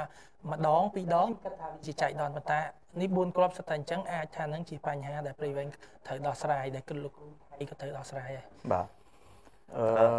បាទសម្រាប់ខ្ញុំខ្ញុំមើលទៅព្រៃវែងត្រូវការពេលវេលាច្រើនណាស់ពីព្រោះនេះគឺជាក្រុមដែលយុវជនបាទមែនទែនទៅបើគ្រូដែលមកដឹកនាំត្រូវទស្សនវិស័យរបស់ក្លឹបទៀតឥឡូវក្លឹបត្រូវការផ្ដល់យុវជនលេងអញ្ចឹងគាត់អាចមានការផ្លាស់ប្ដូរសមាជិកភាពច្រើន រៀងរាល់ប្រកួតមានន័យថាផ្ដល់ឱកាសឲ្យកីឡាករក្មេងៗបានបង្ហាញខ្លួននេះគឺរឿងមួយហើយបើតាមរយៈរូបភាពនៃការបង្ហាញនេះអឺខ្ញុំមើលទៅលើការរេដូចវីគាត់និយាយមិញអញ្ចឹងគាត់ថាដល់ទៅពេលយើង press ច្រើនកន្លែងដែលមិនមានការកំណត់ទេណាជាទូទៅផែនការរបស់គ្រូវឹកនៃការ pressing គឺមានហើយមានតំបន់របស់គេហើយបាទកន្លែងណាដែលត្រូវចូលប្រេះកន្លែងណាដែលត្រូវបញ្ចេញដើម្បីដើម្បីឲ្យមានស្ថានភាពជាក្រុមធម្មតាតែចូលប្រេះគេតើមានចំនួនលើសបាទតើមានចំនួនចំនួនលើសដើម្បីងាយក្នុងការគៀបសង្កត់គេ តែដល់ពេលយើងចូលប្រេះគ្រប់កន្លែងទី1កម្លាំងធ្លាក់ចុះទី2ប្រេះអត់បានផលហើយមិញតាមរូបភាពមិញហ្នឹងមុននឹងទៅដល់បាល់ទី2ដែលក្រោះបានខ្ញុំឃើញបាល់ដែលឆ្លងមកចាយពេលវេលាយូរដែរយូរបាទយូរបាទអញ្ចឹង free ហ្មង free សម្រាប់អ្នកលើកហ្មងនេះគឺជាចំណុចមួយដែលត្រូវតែកែតម្រូវដែរបាទបាទចំពោះក្រុមព្រៃវែងនេះអ្វីដែលលោកគ្រូសវណ្ណរាបានសង្កេតឃើញពីដំបូងហ្នឹងគឺប្លែក ជាងក្រុមដទៃត្រង់អឺហៅ new football trend បាទរបៀបលេងថ្មី ដែលលោកគ្រូជនជាតិថៃកម្រិតអឺ pro license នេះគាត់យកមកអនុវត្តនៅក្នុងក្រុមព្រៃវែងហើយក៏សរសើរគាត់ដែរមកទល់ពេលនេះក្រុមព្រៃវែងដែលសម្បូរទៅដោយយុវជនហ្នឹងប្រើបរទេសដូចតែម្នាក់ណាឥបាឡូវទឥឡូវពីរឥឡូវចាប់ឥឡូវពីរដើមសម្រាប់ជាមួយនឹងគ្រីវងនេះអឺពីរនាក់បាទកាប់តែនក្រុមបាទហើយកីឡាករអឺដែលលេងនៅលើទីលានសុទ្ធតែថ្មីទាំងអស់នៅលើអឺ ទីលានសម្រាប់ការប្រកួតលីកកំពូលកន្លងមកពួកគាត់ធ្លាប់តែលេងលីកទី2បាទហើយលីកទី2មែនតើទៅក្រុមដែលពួកគាត់ធ្លាប់ប្រកួតប្រជែងជាមួយកន្លងមកហ្នឹងបើសិនបើជាក្លឹបអាជីពដែរគឺសុទ្ធតែជាយុវជនរបស់គេបាទគាត់ពុំធ្លាប់សុំបញ្ចុះបន្តិចបាទជប់បន្តិចបាទជប់បាទជា3មួយហ្នឹងហើយបាទបន្តថែមទៀតណាចាំយើងទៅជ័យនេះបន្តទៀតបាទប្រិមិត្តគឺពាក់ព័ន្ធទៅនឹងអឺក្រុមព្រៃវែងនេះដែរបាទគឺថា លើកនេះប៉ះសុទ្ធតែរៀមច្បង first team ដែលមានអឺគេហៅថាបទពិសោធន៍បាទច្រើនមែនតែនបាទហើយគាត់ត្រូវប្រកួតបាទជាមួយនឹងក្រុមដែលមានបទពិសោធន៍ហើយនឹងកីឡាករដែលមានបទពិសោធន៍នៅលើទីលានពិបាកសម្រាប់កីឡាករថ្មីថ្មីបាទឥឡូវភ្ជាប់អឺពីរអ្នកបន្តិចបាទតកតងរវីតកតងនឹងអឺត្រាដែលបាននិយាយអំពីគេហៅនិយាយអា football trend ហ្នឹងគឺដោយសារហេតុអីបាទការប្រកួតទី1គាត់លេងបានល្អ គឺដោយសារគាត់ប្រមូលផ្ដុំហើយអាចនឹងថាគូប្រកួតគឺមិនទាន់បានឃើញថាគាត់លេងវាមិនប៉ុន្តែដល់ឡែកនៅពេលដែលការប្រកួតនេះយើងមើលឃើញហើយគាត់ប្រេះគ្រប់កន្លែងមែនហើយកន្លែងណាក៏ទៅដែរបាទអញ្ចឹងដល់ពេលឃើញតែគាត់រេអស់យើងវារឿងមួយដែលមិនគួរឲ្យជឿនៅពេលដែលបានលើកមកគឺគេហៅ អ្នកការពារសល់តែម្នាក់បាទទល់នឹងមួយហើយអស់លីមែនតើទៅមិនត្រូវខ្សែការពារបាទលេខ20និងលេខ4ត្រូវទៅទៀតទេបាទកន្លែងហ្នឹងគឺខ្សែការពារត្រូវត្រូវទៅលោកណានេះនេះបើយើងវិញយើងស្រែកទាញមកក្រោយអត់មានត្រូវទៅទៅ cover អញ្ចឹងទេអ្នកចាំទីអញ្ចឹងបើបើស្ថានភាពនេះយើងនិយាយលេងស្អីបើយើងមើលតែមួយផ្លែតយើងក៏មើលថាក្រុមណាលេងខាងណាខ្ញុំជឿខ្ញុំមានអារម្មណ៍ថាដូចជានៅមុខទីរបស់ការីវងវិញនេះតែជានៅមុខទីការីវងវិញបាទខាងគេយុទ្ធវិញទៅគិរីវងការពារ វាដូចជាពិបាកដែរពីព្រោះតាមធម្មតាគេហៅអានេះគឺការសិក្សាជាស្ថិតិតំបន់គេហៅតំបន់ទី10លេខ14បាទតំបន់លេខ14គឺមានថាមកជុំវិញគេហៅនោះអាចំណុចចំណុចពេណាល់ទីហ្នឹងឯងបាទអញ្ចឹងចំណុចហ្នឹងគឺចំណុចដែលគូប្រកួតគ្រាប់បានច្រើនជាងគេរាល់ការប្រកួត World Cup ក៏ដោយ Euro ក៏ដោយក៏ដោយគឺកាលណាគេធ្វើជាស្ថិតិមកគឺកន្លែងហ្នឹងតែហេតុអីបានជាពេលហ្នឹងគឺមានន័យថាកន្លែងហ្នឹងគឺមានតែម្នាក់បាទហ្នឹងជារឿងមួយដែលចម្លែកដែរប្រហែលជាអាចនឹង គេហៅការប្រេះជ្រុលអីចឹងទៅឬក៏ការប្រែប្រួលវាមិនតាន់អញ្ចឹងខ្ញុំជឿថាការប្រកួតក្រោយគ្រូដែលគាត់មានកម្រិតប្រូហើយគាត់អាចនឹងមានការកែប្រែបន្តទៀតដែរបាទអឺជាទូទៅគោលការណ៍នៃការការពារគឺយើងត្រូវមានចំនួនលើសគេមិនចឹងលើសបាទប៉ុន្តែអ្នកប្រយុទ្ធហ្នឹងក៏ត្រូវការចំនួនលើសដូចគ្នាបាទអញ្ចឹងអាស្រ័យលើភាពឆ្លៀសវៃរបស់កីឡាករបាទអញ្ចឹងកន្លែងនេះអាចថាដោយសារតែយុវជនគាត់អឺគាត់អាឡ័យតែផ្ដោតបាល់ពេកគាត់ភ្លេចមើលចលនារបស់គូបដិបត្តិនៅបាទក្នុងអគាត់ឺសូមបន្ថែមតិចមកហាក់ បើសិនជាយើងចង់ទៅ block crossing គេមានន័យថាបិទកុំឲ្យគេលើកបាទយើងមានខ្សែការពារស្លាបត្រូវហ៎ full back full back ទៅមួយបើគ្រូមានគោលការណ៍ថាឲ្យការពារកណ្ដាលទៅមួយទៀតអត់បញ្ហាទេសម្រាប់ទៅជួយ cover បាទសម្រាប់ទៅជួយបិទប៉ុន្តែបើគ្រូមានគោលការណ៍ថាឲ្យបំរើចុះទៅបាទទៅជួយជួយពីរបង្កើតពីរទល់មួយអញ្ចឹងពីរអ្នកហ្នឹងត្រូវទៅអូតូបន្តិចមក check មើលអឺប្រយុទ្ធគេនៅកណ្ដាលនេះហើយបាទបាទហើយការទៅហ្នឹងគឺទៅរបៀបថាបើជាបាល់ទាត់វិញគឺក្រៅណា out of the book មកយល់ បាទបាទហើយតែតែគិតថានេះជាកំហុសអឺកីឡាករដូចនិយាយមិនអញ្ចឹងអាចថាគាត់បារម្ភទៅជ្រុលហើយបើទៅបែបនេះហើយទៅគេលើកដែរមានន័យថាមិនបាច់ទៅល្អជាងបាទបាទនេះកន្លែងនេះម្ដងទៀតដែលគាត់ទាញទៅហើយមកក្រោយវិញបាទរួចហើយអឺអីកដាលកាប់ពីទៅរមួយទៀតបាទ5បាល់គេតែមួយទេតែយើងការពារកីឡាករលេខបាទ20ជាមួយលេខ4អត់ដឹងថាកន្លែងហ្នឹងគាត់ទៅឈរឡើយណាបាទចាំ cover ឡើយណាហ្នឹងហើយអាចអាចថាគាត់ក្មេងគាត់អត់ទាន់យល់ពីស្ថានភាពច្បាស់ប៉ុន្តែជាទូទៅយើងមើល បានន័យថាយើងចាប់គ្នាឯងឯងបើយើងនិយាយបាទ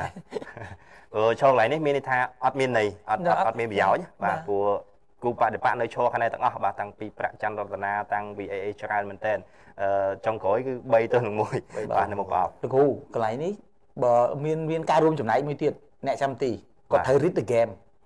អ្នកចាំទីត្រូវស្វែងយល់ដូចវីនិយាយមិញអញ្ចឹងបាទអ្នកចាំទីត្រូវហៅខ្សែការពារតម្លាក់មកលឿនបើគាត់បានឆែកមើលស្ថានភាពហ្នឹងគាត់ត្រូវស្រែកហៅហ៎បាទ ត្រូវហៅពីរអ្នកហ្នឹងមកមកមកខាងនៅកណ្ដាលវិញឯងមានន័យថាខ្វះអឺ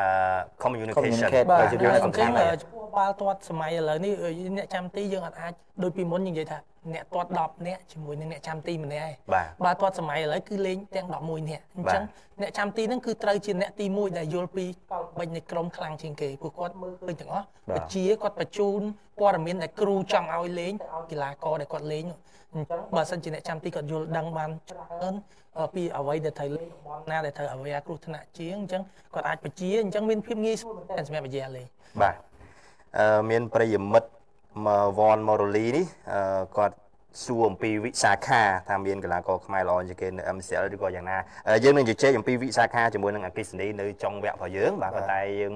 បន្តប្រធានបទរបស់យើងនៅពេលនេះបន្តទៀតសិនបាទយើងនឹងជួបគ្នានៅក្នុងពេលខាងមុខទីទៀតនៅក្នុងថ្ងៃនេះអឺពាក់ព័ន្ធទៅនឹងសំណួរមួយដែលគេបានសួរនៅក្នុងអឺការ live របស់យើងនេះបាទប្រិយមិត្ត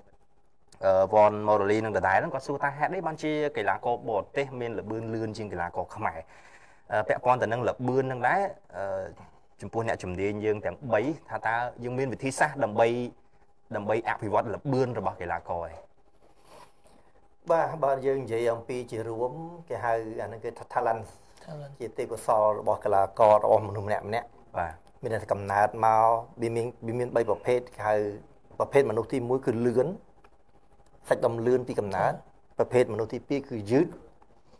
ហើយមានប្រភេទមនុស្សកណ្ដាលមួយទៀតបាទមានតែគាត់មកក៏មានទាំងពីរហ្មងបាទអញ្ចឹងមកហើយបានគេបែងចែកថាអ្នកណាទៅរត់100ម៉ែត្រអ្នកណាទៅរត់42គីឡូបាទអញ្ចឹងក្នុងបាល់ទាត់ដូចគ្នាគ្រាន់តែក្នុងបាល់ទាត់វាមានលក្ខណៈពិសេសមួយមានន័យថាកាលណាមនុស្សដែលអឺលឿនហើយ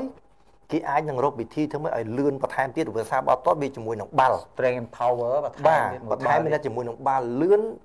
លឿនអឺរាងកាយហើយលឿនជាមួយបាល់ទៀតអញ្ចឹងក្នុងកត្តាពីរហ្នឹងវាអត់អាចបែងចែកថាអូត្រូវធ្វើម៉េចឧទាហរណ៍ដូចស៊ីដានគាត់យឺតហ៎បាទគាត់យឺត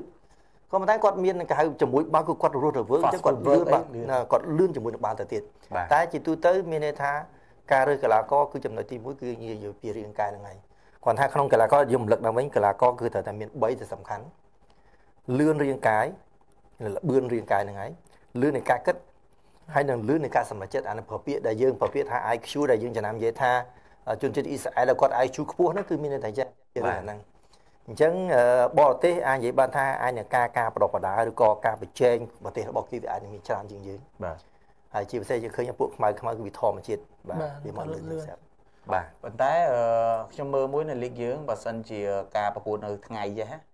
ខ្ញុំឃើញកម្លាំងក៏អត់គ្រប់100%ដែរសម្រាប់កីឡាករបរទេសបាទជាការពិតបាទជាពិសេសកីឡាករមកពីអឺរ៉ុបបាទជាពិសេសមកពីអឺរ៉ុប100%បាទគឺសូម្បីជប៉ុនក៏យ៉ាងដែរអ្នកដូចយូដៃឯងតែគាត់ធ្លាប់នៅហ្នឹងជាឡើងស៊ាំជាមួយអាកាសធាតុហើយក៏គាត់មិនអាចចែកកម្លាំងជាមួយពេលវេលាហ្នឹងគ្រប់គ្រាន់ដែរតែបើថាលេងល្ងាចយើងឃើញយើងស្រឡះណាកីឡាកររត់លះហ្មងបាទហ្នឹងគឺប្រែប្រួលទៅតាមអាកាសធាតុដែរបាទបាទអឺមានប្រិយមិត្តមួយដែលគាត់បានខមមិនលើ page របស់យើងដែលគាត់សួរអឺ ព្រឹកមិញហ្នឹងថាតើអឺគាត់ចង់ដឹងទេគាត់ចង់ដឹងថានៅពេលដែលក្លឹបមួយចង់បានកីឡាករបរទេសហ្នឹងគាត់ត្រូវធ្វើម៉េចហើយកន្លងមកមិនបាច់បានជាសបោកីឡាករអឺអាហ្វ្រិកបាទខុសពីឥឡូវឥឡូវដូចសបោបែបច្រើនហើយថែមទាំងមានកីឡាករជំរឿជាតិមកពីអឺរ៉ុបមួយចំនួនទៀតដូចជា Moldavi អីមកណាដូចជា Luka Petru របស់ Naga ហ្នឹងជំរឿជាតិដែលអង់គ្លេស Moldova ហ្នឹងបារាំង Moldavi ខុសគ្នាបន្តិចសៀងបារាំងអង់គ្លេសណាហើយកីឡាករនៅវិសាខាវិសាខាបាទអឺ គឺជាជំរឿជាតិកាណាដាដែរបាទប៉ុន្តែគាត់មានបញ្ហារបួសដូចជាខានឃើញអឺគាត់មួយរយៈដែរហើយក្រោយពីបង្ហាញបង្ហាញខ្លួនបន្តិចអឺចំពោះអឺចំណុចនេះអឺខ្ញុំអាចអឺតបទៅគាត់ខ្លះខ្លះទៅចោះក៏បានដែរពាក់ព័ន្ធទៅនឹងការស្វែងរកកីឡាករឥឡូវហ្នឹងគឺជាទូទៅបាល់ទាត់ទំនើបនេះគេមានភ្នាក់ងាររបស់គេគេមាន agent របស់គេហើយពុំសូវខុសអីពីប្រមាណពីយើងដើររកការងារធ្វើទេបាទអឺ នៅពេលដែលយើងអត់ទាន់មានការងារធ្វើយើងរកការងារធ្វើយើងមាន CV មកយើងចេះផ្ញើទៅកន្លែងនេះផ្ញើទៅកន្លែងនោះកន្លែងណាហើយយើងទៅសម្ភាសកន្លែងហ្នឹងអឺ agent រាល់ថ្ងៃភ្នាក់ងាររបស់កីឡាកររាល់ថ្ងៃហ្នឹងក៏មានមួយចំនួនគាត់លក្ខណៈអញ្ចឹងដែរបាទគាត់អឺផ្ញើវីដេអូល្អល្អរបស់កីឡាករគាត់ណាមួយទៅក្លឹបនេះក្លឹបនោះក្លឹបនេះក្លឹបនោះអញ្ចឹងទៅពេលខ្លះទៅមានក្លឹបចាប់អារម្មណ៍តាក់ទងហៅមកអីចឹងទៅប៉ុន្តែឥឡូវកាន់តែអឺពាក់ព័ន្ធទៅនឹងភាព រីកចម្រើននៃបាល់ទាត់ស្រុកយើងផងដែលឥឡូវនេះយើងសម្បូរបែបមិនមែនតែអាហ្វ្រិកមុនអឺដូចមុនទេបាទពីមុនថោកថោកបាទបាទមិនសូវមានលុយមិនសូវមានលុយហេតុអីបានជាកាលមុនសម្បូរតែកីឡាករអាហ្វ្រិកមូលហេតុចម្បងมันពិបាកងាយយល់ទេគឺទី1កីឡាករអាហ្វ្រិកដែលមកហ្នឹងគឺប្រាក់ខែគាត់ទៀបទៀបថោកថោកធូរថ្លៃណាបាទហើយទី2កាលនោះកីឡាករមួយចំនួនហ្នឹងពិបាកនឹងហោះពីស្រុកគាត់ផ្ទាល់ direct ទៅប្រទេសដែលមានបាល់ទាត់ជឿនលឿនណា អញ្ចឹងគាត់មកយកបបពិសោធន៍យកឈ្មោះនៅក្នុងស្រុកយើងសិនហើយបានឆ្លងពីស្រុកយើង ទៅប្រទេសដទៃទៀតបាទជាពិសេសនៅក្នុងប្រទេសជិតខាងយើងហ្នឹងទៅស្ពានបាទជាស្ពានប៉ុន្តែឥឡូវយើងលែងទៅជាស្ពានហ្នឹងគឺយើងខ្លាយទៅជាគោលដៅមួយដែលគេចង់មកលេងនៅនឹងតែម្ដងបាទព្រោះលើកមុនមុនប្រហែលការខ្ញុំនៅលេងមានកីឡាករកូរ៉េកីឡាករអីច្រើនគាត់មក ចង់លេងលីកម៉ាឡេប៉ុន្តែគាត់ត្រូវប្រើដោយសារលីកម៉ាឡេទាមទារឲ្យកីឡាករហ្នឹងត្រូវមានធ្លាប់ចូលរួមលេងលីកកំពូលនៃប្រទេសណាមួយក្នុងអាស៊ានសិនបាទដើម្បីឲ្យបានចូលទៅលេងលីករបស់គេបាទអញ្ចឹងគាត់គាត់យកយើងទៅស្ពាននៅកាលមុមុននសិតតែកូតាសិលលក្ខខណ្ឌណាបាទបាទអញ្ចឹងត្រូវតម្រូវឲ្យគុគ្រប់ំលក្ខយើងណៈគេទៅបនច្រើនប្រភេទតែប្រទេសទី2បាទបាទដើម្បីឆ្លងទៅប្រទេសទី3ប៉ុន្តែរឿងមួយដែលយើងយើងស្រួលយកត្រង់ថា យើងអត់ចាយលុយ transfer fee ទេណាបើនៅស្រុកគេវិញចង់តែយកមកថ្លៃហ่าបាទហើយបើសិនតែជាប់កុងត្រាយបាទថ្លៃថ្លៃបាទហើយសម្រាប់ agent រងថ្ងៃគឺសិតតែមាន license បាទគ្រូមាន license pro license A license ណាពុនក៏មានដូចគ្នា agent ក៏មានដែរក៏ត្រូវឆ្លងកាត់ FIFA agent ហើយអឺត្រូវបង់លុយបង់អីច្រើនណាបាទបាទលក្ខខណ្ឌច្រើនគ្រូហើយមែនតើកីឡាករដូចនៅតែមួយកន្លែងទេតែ agent ហ្នឹងគឺដើរហ្មងដើររុករកប្រទេសណារកក្លឹបណាដែលមានតំណែងតំណងមកជាពិសេសអឺ យើងនិយាយតាម Facebook ហ្នឹងណាបាទក៏ទលំទលាយសម្រាប់ agent ហ្នឹងដែរគាត់អាចចូលមកយើងផ្ទាល់ហ្មងនិយាយបាទបឹបបឹបបឹបហ្មងបាទពាក់ព័ន្ធទៅនឹង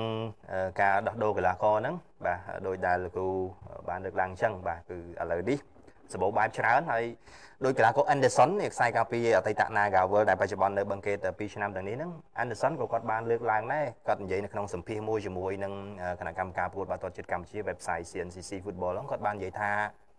កីឡាករបរទេសណា ដែលឥឡូវនេះគិតថាមកលេងនៅលីកខ្មែរស្រួលណា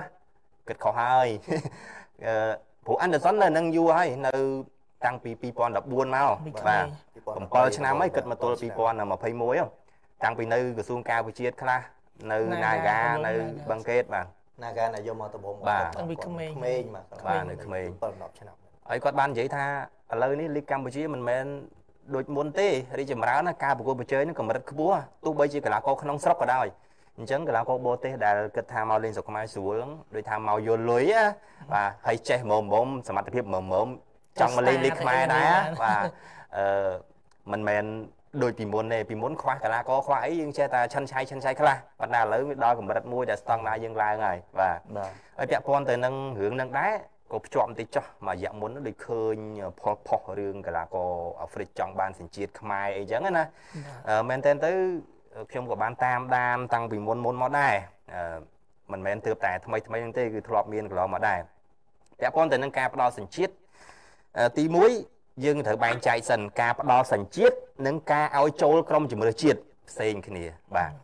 អឺប្រិមិត្តខ្លះគាត់ប្រហែលជាមើលឃើញថាអូមើលគេ អឺអត់សិតតែចូលសញ្ជាតិលេបាងទជាមួយជាតិចូលសញ្ជាតិលេងមើលជាតិអីចឹងទៅគាត់ថាអូឧទាហរណ៍ដូចថា Diego Costa លេងឲ្យអេស្ប៉ាញឲ្យលេងឲ្យប្រេស៊ីលអីចឹងទៅដោយសារតែគាត់អត់មានជំរឿសជាប់ប្រេស៊ីលគាត់ដូរមកអេស្ប៉ាញតែឥឡូវហ្នឹងក៏គាត់មិនជាប់អេស្ប៉ាញទៅទៀតអឺចំពោះកីឡាករផ្សេងផ្សេងទៀតគាត់ថាអឺមើលបារាំងហ្នឹងសិតតែស្បែកខ្មៅហើយលើកពានទៅ World Cup Euro អីក៏ប៉ុន្តែករណីផ្សេងគ្នាចំពោះបារាំងទីមួយយើងនិយាយពីអឺរ៉ុបនិយាយពីលោកខាងលិចសិនគេជាទូទៅគេប្រទេសប្រជាធិបតេយ្យគេបើកចំហសិទ្ធិសេរីភាពអីផ្សេងផ្សេង អញ្ចឹងអវប្បធម៌របស់គេវាខុសពីយើងយើងបើយើងត្រឡប់ទៅប្រហែលជាថា5ដល់10ឆ្នាំមុន20ឆ្នាំមុនចុះឃើញនារីខ្មែរណាម្នាក់យកប្តីបរទេសចម្លែកចានៅក្នុងស្រុកយើងពីព្រោះវប្បធម៌ផ្សេងគ្នាទើបតែឥឡូវនេះទេវារៀងរៀងធម្មតាណាហើយបើសិនជាថាយកប្តីជាជនជនអាហ្វ្រិកស្បែកខ្មៅទៀតកាន់តែ មានគេរៀងចាប់អារម្មណ៍មើលលើមើលក្រោមថាម៉េចបានយកប្តីអាហ្វ្រិកអីចឹងទៅឧទាហរណ៍អានេះខ្ញុំគ្រាន់តែលើកឧទាហរណ៍ទូចទូចដែលខ្ញុំគិតទស្សនៈផ្ទាល់ខ្លួនទេណាបាទថាវាពាក់ព័ន្ធទៅនឹងវប្បធម៌នៅក្នុងប្រពៃណីនៅក្នុងសង្គមមួយដែរទស្សនៈហើយនៃការគិតបាទទៅតាមបាទនៅស្រុកគេគេធម្មតាទៅហើយឧទាហរណ៍ដូចថាអឺនៅជាមួយគ្នាជាសង្សារមានកូនមានអីអត់ការអត់មាននរណាគេពេបជ្រាយនិន្ទាអីជាងកាលនៅមួយគ្នាបានមួយរយៈទៅក៏បែកគ្នាទៅ អ្នកនេះលេងគ្នាអ្នកនោះលេងគ្នាទៅយកគ្នាតតផ្សេងផ្សេងទៀតនេះទៅវាជារឿងធម្មតាជាសិទ្ធិសេរីភាពរបស់គេដែលគេអត់ប្រកាសអត់ប្រកាសនៃច្រើននេះអានេះមួយដែលខ្ញុំគិតចំណុចតូចតូចមួយទេហើយមួយទៀតដោយកីឡាករស្បែកខ្មៅរបស់បារាំងមិនមែនទើបតែមកនៅបារាំងហើយលេងនៅលីកបារាំងហើយបារាំងឲ្យសញ្ជាតិទេពួកគាត់ភាគច្រើនគឺកើតនៅបារាំងនឹងតែម្ដងបាទកើតនៅបារាំងពីព្រោះបារាំងគឺជាអតីតប្រទេសអាណានិគមដ៏ធំមួយដែលដាក់អាណានិគមនៅអាហ្វ្រិកច្រើនជាងគេ នៅអាស៊ីអាគ្នេយ៍យើងក៏មានដែរវៀតណាមឡាវកម្ពុជាយើងនេះសិតតែអតីតអឺដែនដីអាណានិគមមកបារាំងហើយអញ្ចឹងប្រជាជនជាពិសេសខាងអាហ្វ្រិកខាងអីហ្នឹងភៀសខ្លួនទៅបារាំងច្រើនណាបាទភៀសខ្លួនទៅបារាំងច្រើនហើយក៏មានកូនមានគ្រួសារមានឯនោះកើតដូចផឹកបាយគាត់ដើមឪពុកម្ដាយគាត់ហ្គីណេមែនតែឪពុកម្ដាយគាត់ភៀសខ្លួនទៅនៅបារាំងតាំងពីមុនផឹកបាកើតមកហ្នឹងហើយកើតមកគាត់ជាជនជាតិបារាំងប៉ុន្តែសម្បល់គាត់ខ្មៅហើយកីឡាករផ្សេងផ្សេងទៀតក៏អញ្ចឹងដែរគឺកើតនៅបារាំងបាទ ហើយមួយទៀតពាក់ព័ន្ធទៅនឹងកីឡាករនឹងដែរគេចេញពីប្រទេសល្មមទៅប្រទេសខ្លាំងមានន័យថាសមត្ថភាពគេល្អបាទបើសិនជាគាត់ទៅលេងឲ្យប្រទេសជំនឿជាតិដែលជាដើមកំណើតប្រពន្ធដៃគាត់អាចលេងនៅប្រទេសមុំមុំដូចហ្គីណេដូចអីផ្សេងផ្សេងប៉ុន្តែនេះគាត់លេងឲ្យបារាំងមហាអំណាចមួយរបស់ពិភពលោកលើកមាន World Cup លើកមាន Euro អញ្ចឹងកម្រិតគេមិនធម្មតាទេផ្ទុយទៅវិញកីឡាករមួយចំនួនដែលគាត់ដូរពី ជំនឿជាតិដើមមកគាត់មកលេងឲ្យជំនឿជាតិរៀងទៀបវិញគឺភាកច្រើនគាត់អត់មានជំរឿហើយពេលខ្លះគាត់យកជាឈ្នន់ដូចជាពិសេសនៅក្នុង trip អាស៊ីរបស់យើងនេះគេគិតកូតាអាស៊ី3/1 AFC 3/1មានន័យថាកីឡាករបរទេសនៅលើទីលានបាន4នាក់លុះត្រាតែមានយ៉ាងហោចណាស់ម្នាក់ជាជនជាតិអាស៊ីអញ្ចឹងពេលខ្លះគឺគាត់ចង់បានដើម្បីគាត់អូបើសិនជាបានសញ្ជាតិខ្មែរគាត់កាន់ប៉ាសពតខ្មែរគាត់ចង់ទៅលេងនៅម៉ាឡេគាត់មិនមែនកូតាបរទេសណាគាត់កូតាអាស៊ាន គាត់ចង់ទៅថៃគាត់មិនមែនកូតាបរទេសណាគាត់កូតាអាស៊ានអញ្ចឹងកូតាអាស៊ានបើធៀបទៅនឹងអាស៊ានអាស៊ានដូចគ្នាគាត់លើគេប៉ុន្តែបើធៀបទៅនឹងបរទេសទូទៅដូចគ្នាធៀបទៅនឹងអាសង់ទីនប្រេស៊ីលគាត់អាចកម្រិតក្រោមគេហើយគាត់ស្បែកខ្មៅទៀតអាចនឹងពិបាកអានេះទស្សនៈការគិតរបស់ខ្ញុំណាមិនមែនថាចង្អៀតចង្អល់អីទេប៉ុន្តែជាការគិតរបស់ខ្ញុំនៅត្រង់ថាទី1បើនិយាយពីការឲ្យសញ្ជាតិអូខេអឺប្រសិនបើគាត់គោរពបានត្រឹមត្រូវតាមច្បាប់របស់កម្ពុជាយើងខ្ញុំគ្រប់គ្រងឲ្យខ្ញុំគ្រប់គ្រងឲ្យព្រោះខ្ញុំមិនមែន racist មិនមែនជាអ្នករើសអើង ពូជសបល់ពណ៌សបល់ពូជសាយទេសំខាន់កម្ពុជាយើងមានច្បាប់ដូចជាការផ្ដល់សញ្ជាតិតាមរយៈអាពាហ៍ពិពាហ៍ប្រសិនបើគាត់មានប្រពន្ធខ្មែរគាត់រស់នៅខ្មែរយូរគាត់មានអាកប្បកិរិយាល្អអត់ដែលមានទោសអីទេគាត់ចេះនិយាយខ្មែរគាត់ចេះអានអក្សរខ្មែរអាហ្នឹងជាលក្ខខណ្ឌនៅក្នុងច្បាប់បាទគាត់អាចស្នើសុំដើម្បីយកសញ្ជាតិបានប៉ុន្តែកីឡាករបរទេសមួយចំនួនដែលមកស្រុកខ្មែរអត់សូវព្យាយាមរៀនភាសាខ្មែរទេអាហ្នឹងពាក់ព័ន្ធទៅនឹងការឲ្យតម្លៃភាសាខ្មែររបស់គាត់ហើយមួយទៀត ពាក់ព័ន្ធទៅនឹងបើនិយាយពីច្បាប់ហ្នឹងសម្រាប់អ្នកវិនិយោគជួនកាលមកដល់ត្រឹមរយៈពេលខ្លីគេអាចផ្ដល់សញ្ជាតិឲ្យភ្លាមតែម្ដងព្រោះគាត់បានជួយរដ្ឋាភិបាលជួយប្រទេសជាតិខ្មែរយើងមកថាគាត់បើបើក្រុមហ៊ុនធំមួយរស់ស៊ីនៅស្រុកខ្មែរហើយគាត់ជួយរដ្ឋាភិបាលប្រមាណលានប្រមាណលានអីចឹងទៅអាហ្នឹងរដ្ឋាភិបាលអាចពិចារណាផ្ដល់សញ្ជាតិដល់ពួកគាត់ពីព្រោះគាត់មកនេះមិនមែនឲ្យយើងចិញ្ចឹមគាត់ទេគាត់មកចិញ្ចឹមយើងដែរបាទមកជួយយើងប្រៀបដូចជាយើងចេញទៅរស់នៅប្រទេសផ្សេងហ្នឹងបើយើងទៅប្រទេសដែលមានជាងយើង គេពិនិត្យពិច័យល្អល្អណាមានលុយតម្កល់ប្រមាណអីប្រមាណព្រោះគេខ្លាចយើងទៅវេទនាគេគេមិនមែនឲ្យយើងទៅដើម្បីឲ្យគេចិញ្ចឹមយើងគេគេត្រូវការយើងឲ្យទៅជួយគេអញ្ចឹងខ្មែរយើងក៏ដូចគ្នាដែរបើសិនបើអ្នកមានមកមហាសទ្ធិមកដូចយើងឃើញពិភពលោកហ្នឹងឯងមហាសទ្ធិសញ្ជាតិច្រើនណាបាទឲ្យតែថាប្រទេសដើមរបស់គេគេបើកចំហឲ្យមានសញ្ជាតិលើសពីមួយបាទលើកលែងនៅប្រទេសណាមួយដែលរដ្ឋាភិបាលគេរឹតបន្តឹងថាបើណែយកសញ្ជាតិណាមួយត្រូវមានតែមួយត្រូវចោលសញ្ជាតិដើមចោលសញ្ជាតិអីអាហ្នឹងបានគេ មានការពិចារណាយ៉ាងទៅហើយចំពោះប្រទេសជិតខាងរបស់យើងយើងឃើញថាមានកីឡាករបរទេសដែលធ្លាប់ទទួលបានសញ្ជាតិដែរឧទាហរណ៍ដូចវៀតណាមធ្លាប់មានកីឡាករប្រេស៊ីលបានសញ្ជាតិវៀតណាមធ្លាប់មានកីឡាករហុលឡង់បានសញ្ជាតិវៀតណាមប៉ុន្តែកីឡាករទាំងអស់នោះសុទ្ធតែលេងនិងរស់នៅវៀតណាមច្រើនឆ្នាំហើយចេះនិយាយភាសាវៀតណាមហើយអ្នកខ្លះយកប្រពន្ធវៀតណាមទៀតហើយការដែលគេឲ្យសញ្ជាតិវៀតណាមហ្នឹងជាទូទៅគេមិនមែនដើម្បីយកចង់ចូលជំរឿជាតិវៀតណាមទេ គឺដើម្បីក្លឹបគេពេលលេង AFC Cup AFC Champions League កីឡាករហ្នឹងកូតាវៀតណាមបាច់មិនមែនជាកូតាបរទេសទេអាហ្នឹងគេដើម្បីជួយក្លឹបគេប៉ុន្តែជំរឿជាតិវៀតណាមនៅទីបំផុតជោគជ័យឡើងដល់ផ្ដាច់ព្រាត់អុយ23 Trip អាស៊ីឡើងដល់វគ្គពាក់កណ្ដាប់ផ្ដាច់ព្រាត់អាស៊ានហ្គេមឈ្នះមេដាយមាស SEA Game ឈ្នះជើងឯកអាស៊ីអាគ្នេយ៍ជាមួយជនជាតិវៀតណាមទាំងអស់ អត់មានបរទេសណាហុលឡង់ប្រេស៊ីលនីសេយ៉ាណាមកជួយគេទេប្រទេសថៃប្រទេសអីក៏ដោយចំណុចនេះខ្ញុំចង់និយាយថាអំពីមោទនភាពជាតិរបស់គេមោទនភាពជាតិរបស់គេដូចនៅក្នុងតំបន់អាស៊ីអាគ្នេយ៍របស់យើង ដែលតាមខ្ញុំតាមដានធ្លាប់ឮមកកន្លងមកក៏ធ្លាប់មាន ខ្មែរយើងពេលជ្រាយប្រទេសមួយចំនួននៅក្នុងតំបន់របស់យើងដើរសបោទៅដោយកូនកាត់សបោទៅដោយកីឡាករចូលសញ្ជាតិមានថាគេដូចដូចគាត់និយាយថា ឧទាហរណ៍ហុងខ្កុលាំងងអីបាទបាទហុងកុងវាលេងឆ្នះយើងហ៎បាទអូល្អអីយកសិតតែពួកបាទនេះពួកនោះមកជួយបាទតម្លៃវានៅត្រង់ហ្នឹងនេះហើយបើយើងឧទាហរណ៍នៅតំបន់អាស៊ានណាបើសិនជាការចូលសញ្ជាតិហ្នឹងអាចថាជោគជ័យលើសលប់ហ្នឹងប្រហែលជាទីមួអាចខ្លាំងហើយបាទព្រោះទីមួមហឹកមុនប្រេស៊ីលច្រើនណាបាទប៉ុន្តែក្រោយពីគាត់បានសញ្ជាតិហើយយើងអត់ដឹងថាគាត់ទៅធ្វើអីទៀតដើម្បីជាតិបាទទីមួហ្នឹងទេឬក៏ ដើម្បីតែគាត់ទៅលេងនៅលីកថៃលីកអីឃើញបាទមានកីឡាករទីមួច្រើនមួយរយៈហ្នឹងឃើញកីឡាករជនជាតិប្រេស៊ីលដែលបានសញ្ជាតិទី1ហ្នឹងទៅលេងនៅលីកថៃច្រើនមែនទែនប៉ុន្តែនៅពេលដែលទី1ប្រកួតអត់សូវឃើញពួកគាត់មកជួយទេយើងមិនដឹងថាយ៉ាងម៉េចទេណាតែបន្ទាប់មកទៀតមានការពិន័យពីព្រោះវាពាក់ព័ន្ធទៅនឹងច្បាប់ឯកសាររបស់ FIFA បាទ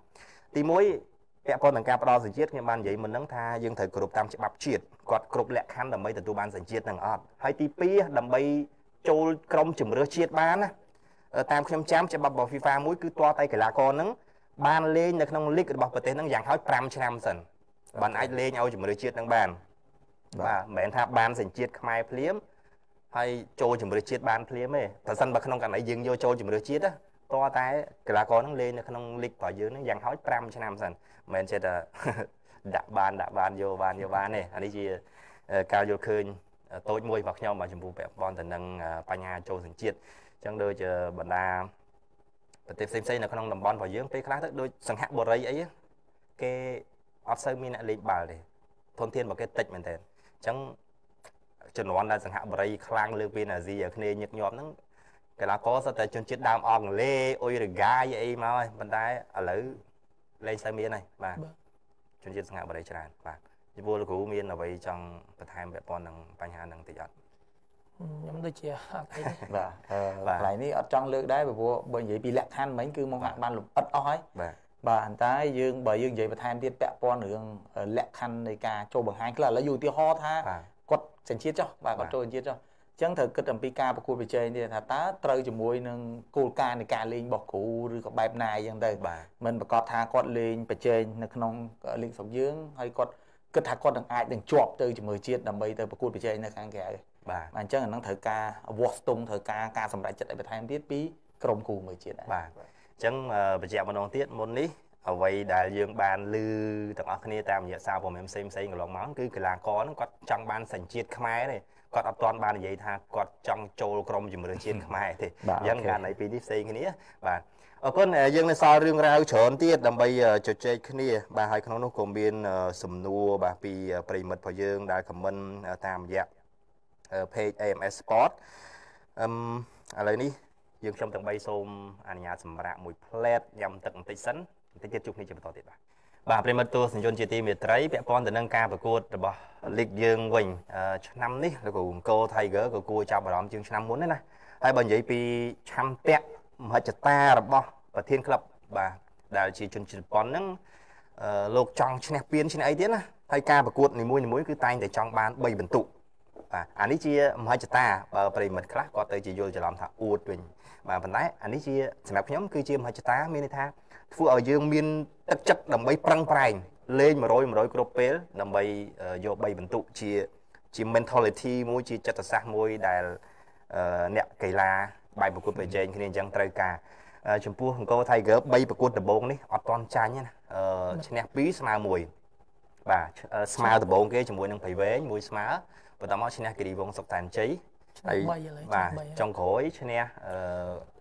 គាត់ប្រហែលថ្ងៃមុននេះឈ្នះកងយុទ្ធពលកាមេរ៉ាឆ្នាំមុំ3បាទឆ្នាំ3ស្មើមួយឈ្នះ3ឈ្នះ3ស្មើ1ណាបាទបាទក៏បាជាតិមួយទៀតអូឈ្នះនគរបាលជាតិមួយទៀតណាអញ្ចឹងគួរចាប់អារម្មណ៍មែនទែនហើយអឺ ក្នុងនោះដែរសឿតបារាំងសឿតបារាំងដែលជាខ្សែការពារស្លាបឆ្វេងអង្គរ Tiger ខ្ចីពីអឺក្រុមអឺភ្នំពេញក្រោនទៅឃើញថាបង្ហាញសមត្ថភាពបានល្អច្រើនហើយនៅតែជាកីឡាករម្នាក់ដែលគេហៅថាមានល្អិតតែចិត្តធំបេះដូងមោះមុតមែនទែននៅក្នុងការប្រកួតហើយគាត់គ្រប់គ្រងបាល់បានល្អបច្ចេកទេសអឺនៅក្នុងការគ្រប់គ្រងបាល់បញ្ជាបាល់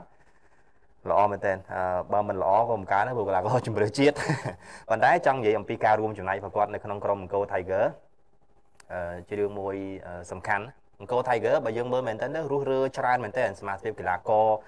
ដែលធ្លាប់លេងនៅទីនេះច្រើនរដូវកាលត្រូវបានរុះរើចេញច្រើនណាអឺជាពិសេសកីឡាករ11នាក់ដំបូងចេញសឹងតែទាំងអស់ហើយលោកគ្រូអូរីយ៉ូលហ្នឹងគាត់យកទៅថ្មីច្រើនមែនទែនប៉ុន្តែមកទល់ពេលនេះអាចនិយាយបានថាអឺការរុះរើរបស់គាត់ ចាប់ផ្ដើមឲ្យផលបានទេលោកគ្រូបាទជាធម្មតាព្រោះយើងឃើញថាគាត់គឺជាគ្រូម្នាក់ដែលនៅនៅស្រុកខ្មែរយូរដែរហើយហើយជាពិសេសគាត់នៅក្នុងក្រុមអង្គរ Tiger ហ្នឹងបាទយូរឆ្នាំហើយអញ្ចឹងមានន័យថាគាត់ស្គាល់អំពីចំណុចពិសេសរបស់ក្រុមថាតើត្រូវសាររបៀបណាទៅលេងបែបណា យើងឃើញការប្រែប្រួលរបស់គាត់ឧទាហរណ៍ដូចជាការពីឆ្នាំ2019 បាទគាត់ប្រើប្រាស់ទីលានរបស់ខេត្តអញ្ចឹងបាទទីលាននេះមានន័យថាវាពិបាកនឹងលេងបាទអញ្ចឹងឃើញពេលហ្នឹងជារឿងមួយចម្លែកថាកីឡាករល្អល្អមួយចំនួនគឺអត់បានអត់បានលេងទេតែដល់ពេលយើងពិនិត្យមែនតើអូដោយសារតែគាត់ទៅការមនុស្សខ្ពស់អញ្ចឹងបាញ់ឆ្លងចុះឆ្លងឡើងដូច demo T អីស្អីអីកីឡាករបាទគាត់ខ្ពស់អញ្ចឹងទេអាការលេងរបស់គាត់ជោគជ័យនៅថាក្រុមទាំងអស់ក្រុមណាក៏ដោយតែទៅលេងនៅកន្លែងហ្នឹងគឺពិបាកនឹងឈ្នះគាត់ ប៉ុន្តែដោយឡែកយើងមើលឃើញនៅឆ្នាំនេះដោយសារតែគាត់ប្រើប្រាស់ទីលានដែលល្អបាទរៀនល្អទោះបីជាគាត់ធ្វើការផ្លាស់ប្ដូរកីឡាករហ្នឹងគឺវាតម្រូវទៅតាមអ្វីដែលវាអាចដែលគាត់គិតថាគាត់អាចធ្វើបានពីព្រោះកាលណាទីលានល្អគាត់អាចនឹងអាចរក្សាបាល់បានច្រើនទោះបីជាលើកក៏អាចមានគុណភាពលើកអញ្ចឹងគាត់រើសកីឡាករតម្រូវទៅនឹងអ្វីដែលគាត់ចង់បានបាទចង់លេងនេះជាចំណុចមួយដែលគ្រូទាំងអស់ពីព្រោះតាមធម្មតានេះគ្រូក្លឹបគ្រូជំនួយជាតិគឺត្រូវតែធ្វើម៉េច ដើម្បីឲ្យខ្លួនឯងនឹងអាចឈរជើងនឹងតែប៉ុណ្្នឹងឯងបាទបាទហើយបើគាត់ទៅលេងទីលានដែលតម្រូវបំផ្លោងទៅតម្រូវត្រូវបាញ់បាល់លើអីក៏គាត់ត្រូវផ្លាស់ប្ដូរតិចតួចបាទផ្លាស់ប្ដូរទៅទៀតតាមនោះទៀតបាទអរគុណមានសំណួរមួយពីរាបរីក៏បានសួរនៅក្នុង page បាទព្រឹកមិញនេះគាត់សួរថាហេតុអីបានជាលីក2របស់យើងនេះពុំអនុញ្ញាតឲ្យមានកីឡាករបរទេសបាទចំពោះករណីឲ្យកីឡាករបរទេសលេងនៅក្នុងលីក2របស់យើងតើមាន ផលចំណេញនិងចំណុចគុណវិបត្តិយ៉ាងណាខ្លះដែរចំពោះទស្សនៈរបស់លោកគ្រូទាំង3អឺចំពោះការបង្កើតលីក2ហ្នឹងយើងគោលដៅទី1ហ្នឹងគឺយើងចង់បង្កើតឱកាសដើម្បីឲ្យកីឡាករដែលគាត់មានដែលអត់ទាន់បានលេងនៅក្នុងលីកដែលទំចេញវិបត្តិឬអីផ្សេងផ្សេងថ្មីថ្មីហ្នឹងដើម្បីគាត់មានឱកាសបានប្រកួតប្រជែងដើម្បីត្រៀមសម្រាប់ទៅ SEA Games ឆ្នាំ2023របស់យើងអាហ្នឹងតាមពិតទៅជាគោលដៅរបស់យើង ប៉ុន្តែក្នុងចង្ហៀនដំបូងនេះគឺយើងចង់ផ្ដល់ឱកាសឲ្យគាត់លេងឲ្យបានច្រើនប៉ុន្តែយើងគោលដៅទៅមុខទៀតអាហ្នឹងយើងអត់ដឹងថាវាអាចប្រែប្រួលទៅណាវាយោងទៅតាមអ្វីដែលយើងអភិវឌ្ឍរបស់យើងបន្តទៀតទេបាទបាទហ្នឹងបើយើងនិយាយតែពីលក្ខខណ្ឌគឺយើងខុសបាត់ហើយមានន័យថាខុសហើយខុសអំពីការផ្សារភ្ជាប់ promotion league អញ្ចឹងត្រូវឲ្យមានកីឡាករបរទេសសមប្រកបដើម្បីប្រជែងទៅជើងឯកទៅឡើងលីកកម្ពុជា ប៉ុន្តែហេតុផលអីបានអត់មានបរទេសលេងពីព្រោះគិតទៅលើការអភិវឌ្ឍវិញការផ្ដល់ឱកាសវិញបាទអញ្ចឹងអឺលោកគ្រូមិញបានចែកម្លែមុនយើងចូល live ណាបាទនិយាយថាដូចនៅជប៉ុនអីមានការដាក់លេងសម្រាប់កម្រិតទៀបហ្នឹងគឺកំណត់ទីតាំងទៀតកីឡាករបរទេសទៅលេងទីតាំងពីព្រោះកន្លែងខ្លះគេអត់ត្រូវការធនធានបរទេសលេងកន្លែងហ្នឹងគេទុកឲ្យកីឡាករគេប្រជែងនេះគឺជារឿងមួយដែលសំខាន់ដែលជាចំណុចស៊ីជម្រៅមែនតើដែលយើងត្រូវគិតទស្សនវិស័យយើងចង់ដើរដល់ឡាបាទយើងគិតគ្រប់បែបយ៉ាងទាំងអស់អូ ពាក់ព័ន្ធនឹងចំណុចហ្នឹងខ្ញុំសូមភ្ជាប់បន្តិចធ្វើឲ្យខ្ញុំនឹកឃើញដល់ចំណុចមួយលីកចិនណាចាយលុយច្រើនមែនទែនចូលរយចូលពាន់លានណាបើយើងសរុបទៅណាលើការយកកីឡាករល្អល្អល្បីល្បីតាំងពី10ឆ្នាំមុនតាំងពីជាង10ឆ្នាំមុនតាំងពីជំនាន់អានេលីកាដ្រាក់បាយទៅលេង2010 11នៅចិនណាបាទដែលចាប់ផ្ដើមផ្ទុះខ្លាំងពីដំបូងមកហ្នឹងគឺមានលក្ខខណ្ឌមួយកីឡាករបរទេសយកមិនយកទៅលើកលែងតែអ្នកចាំទីឲ្យប្រើអ្នកចាំទីចិន លក្ខខណ្ឌពីសហព័ន្ធកីឡាបតចិនកាលនោះណាប៉ុន្តែឥឡូវនេះ2021ខ្ញុំមិនដឹងថាគេកែមិនទៀតទេប៉ុន្តែកាលពីប្រហែលឆ្នាំមុនសហព័ន្ធបតចិនហ្នឹងបានកំណត់ចឹងហ្មងកីឡាករបរទេសនៃក្លឹបមួយមួយហ្នឹងរ៉ូលអីរ៉ូលទៅលើកលែងតែចាំទីគឺត្រូវប្រើអ្នកចាំទីចិនដើម្បីបង្កើនធនធានបង្កើនសមត្ថភាពអ្នកចាំទីចិនដូចជាមួយយ៉ាងដែរព្រោះទី1គាត់ខ្សោយចាំទីអីចឹងទៅកីឡាករបរទេសភាគច្រើនសិតតែប្រយុទ្ធ សុទ្ធអ្នកយ៉ាំទីចិនឲ្យបានច្រើននេះទៅហើយដូចយើងស្ទាំនឹងបរិស័ទបរទេសដែរបាទខ្មែរស្រុកខ្មែរយើងក៏ចឹងដែរកីឡាករដែលដែលល្អល្អភាគច្រើនចេញពីក្លឹបដែលមិនសូវជាប្រកែហ្មងទេព្រោះគាត់គេតតគាត់ច្រើនបាទអឺបាទឥឡូវនេះយើងនិយាយយើងនិយាយជារួមមកពីទស្សនៈនៃការអភិវឌ្ឍមិនមែនតែខ្មែរតែទស្សនៈពិភពលោកតែម្ដងបាទគេថាកីឡាកកម្នាក់ដែលអាចរីកចម្រើនបានត្រតតែមានការប្រកួតជាមធ្យមហ្នឹងគឺ35ប្រកួត ក្នុងមួយឆ្នាំ បាទក្នុងមួយឆ្នាំអញ្ចឹងទេបើយើងបើយើងគិតហេតុដែលបានជាតំបន់អឺរ៉ុបខ្លាំងគឺដោយសារតែចំនួនប្រកួតតាំងយើងបូកតាំងពីការភូមិទភាពតាំងពី pre-season តាំងពី league តាំងពីស្អីរបស់គេហ្នឹងគឺគេប្រគេរកពិធីធ្វើយ៉ាងណាឲ្យការឲ្យកីឡាករមានឱកាសនឹងបានលេងដល់ប៉ុណ្ណឹងបាទតែដល់ឡែកយើងមើលនៅខ្មែរយើងដោយសារតែការប្រកួតរបស់យើងនៅមានកម្រិតនៅឡើយបាទសំបីតែលីកមកយើងបូកមកបានប្រកួតក្នុងមួយឆ្នាំកីឡាករម្នាក់ มันដូចជាមិនដល់30ប្រកួតផងអឺលេខយើងឆ្នាំនេះ13ក្រុមយើង24ប្រកួតប៉ុន្តែកីឡាករម្នាក់មិនប្រកាសថាលេខបានទាំង24ប្រកួតចុះគ្នាទេថាបូកនឹងតែយើងថាបាន35ចុះឲ្យវាគ្រប់ចុះតែដល់ឡែកយើងមើលកីឡាករនៅអឺរ៉ុបបើសិនជាក្នុងមួយឆ្នាំមួយឆ្នាំកីឡាករដែលល្អមែនទែនលេខបានរហូតដល់52ប្រកួតមានន័យថាមួយសប្តាហ៍មួយប្រកួតសប្តាហ៍មួយប្រកួតសប្តាហ៍ប្រកួតអញ្ចឹងណាបាទអញ្ចឹងមូលហេតុហ្នឹងហើយបានជាបើសិនជាយើងមិនផ្ដល់ឱកាសលេខ2ឲ្យកីឡាករខ្មែរសុទ្ធថាជាឱកាសបានលេងទេ បើសិនជាយើងរងចាំថាអូគាត់រងចាំតែចូលលីកបានគាត់បើគាត់មានឱកាសលេងប្រហែលជាពិបាកអញ្ចឹងគឺនេះចំណុចមួយដែលយើងត្រូវជំរុញថាយុវជនត្រូវតែមានឱកាសលេងកាន់តែច្រើនព្រោះគេក្នុងទិសដីជារួមថាអឺការប្រកួតគឺជាគ្រូដ៏ល្អដ៏ល្អសម្រាប់កីឡាករបាទអញ្ចឹងមានន័យថាការបង្ខាត់ទោះបីបង្ខាត់ខ្លាំងប៉ុណ្ណាក៏ដោយបើសិនជាអត់មានការប្រកួតទេមានន័យថាវាវាអត់បានស្គាល់ថាតើយើងនឹងវាមានសមត្ថភាពប៉ុណ្ណាព្រោះការប្រកួតប្រជែងសូម្បីតែការប្រកួត ផ្លូវការហើយប្រកួតមិត្តភាពក៏ខុសគ្នាដែរបាទតាំងពីអារម្មណ៍តាំងពីខុសគ្នាដែលយើងលើកកីឡាករអ្នកចាំទីបឹងកេតមិញអញ្ចឹងបាទបាទគាត់ជាកីឡាករមួយដែលបានលេងច្រើនប៉ុន្តែដល់ពេលមកការប្រកួតដែលធំមួយភ្ញាក់បាទថាច័ន្ទរបាទបាទបាទហ្នឹងគឺតែអាយើងនេះយើងយុវជនមកនិទីយាយបាល់ទាត់ហ្នឹងបើនិយាយប្រៀបធៀបលក្ខណៈវាវាមានលក្ខណៈពិសេសពីជាងជាងកីឡាករផ្សេងជាកីឡាផ្សេងផ្សេងបាទយើងក្នុងហ្នឹងមួយគេបានចែងថាកីឡាបាល់ទាត់គឺជាកីឡាដែលមានការប្រកួតប្រជែងជាមួយគូប្រកួតបើយើងប្រៀបធៀបរបៀបដូចជាហែតទឹក តពលកម្មគឺគាត់រត់អីតែឯងអត់មានការប្រកួតជាមួយនឹងដៃគូទេរត់ទៅត្រង់ស្លូឯកតកម្មគាត់មិនគឺអញ្ចឹងឯងប៉ុន្តែអានេះគឺប្រែប្រួលទៅតាមគូប្រកួតដែលយើងលេងអញ្ចឹងការប្រកួតគឺសំខាន់មែនទែនសម្រាប់បាទហើយបន្ថែមរឿងចំនួនប្រកួតនេះទៀតអឺការខ្ញុំធ្លាប់នៅដឹកនាំក្រសួងការវិជាតិក៏បានទៅប្រជុំមួយគ្រូគ្រូដែរបាទកាលនោះគឺអឺជជែកគ្នាสนុំពរទៅដល់សហព័ន្ធដើម្បីបង្កើតឲ្យមានលីកទី2ប៉ុន្តែប្រៀបដូចជាការផ្ដល់ឱកាសឲ្យកីឡាករដែលអត់បានលេងនៅលីកទី1 reserve បាទបាទ reserve ដូច reserve league ចឹងអឺដោយសារឥឡូវនេះក៏យើងនៅមានគោលការណ៍ពីរគោលការណ៍មួយមានន័យថា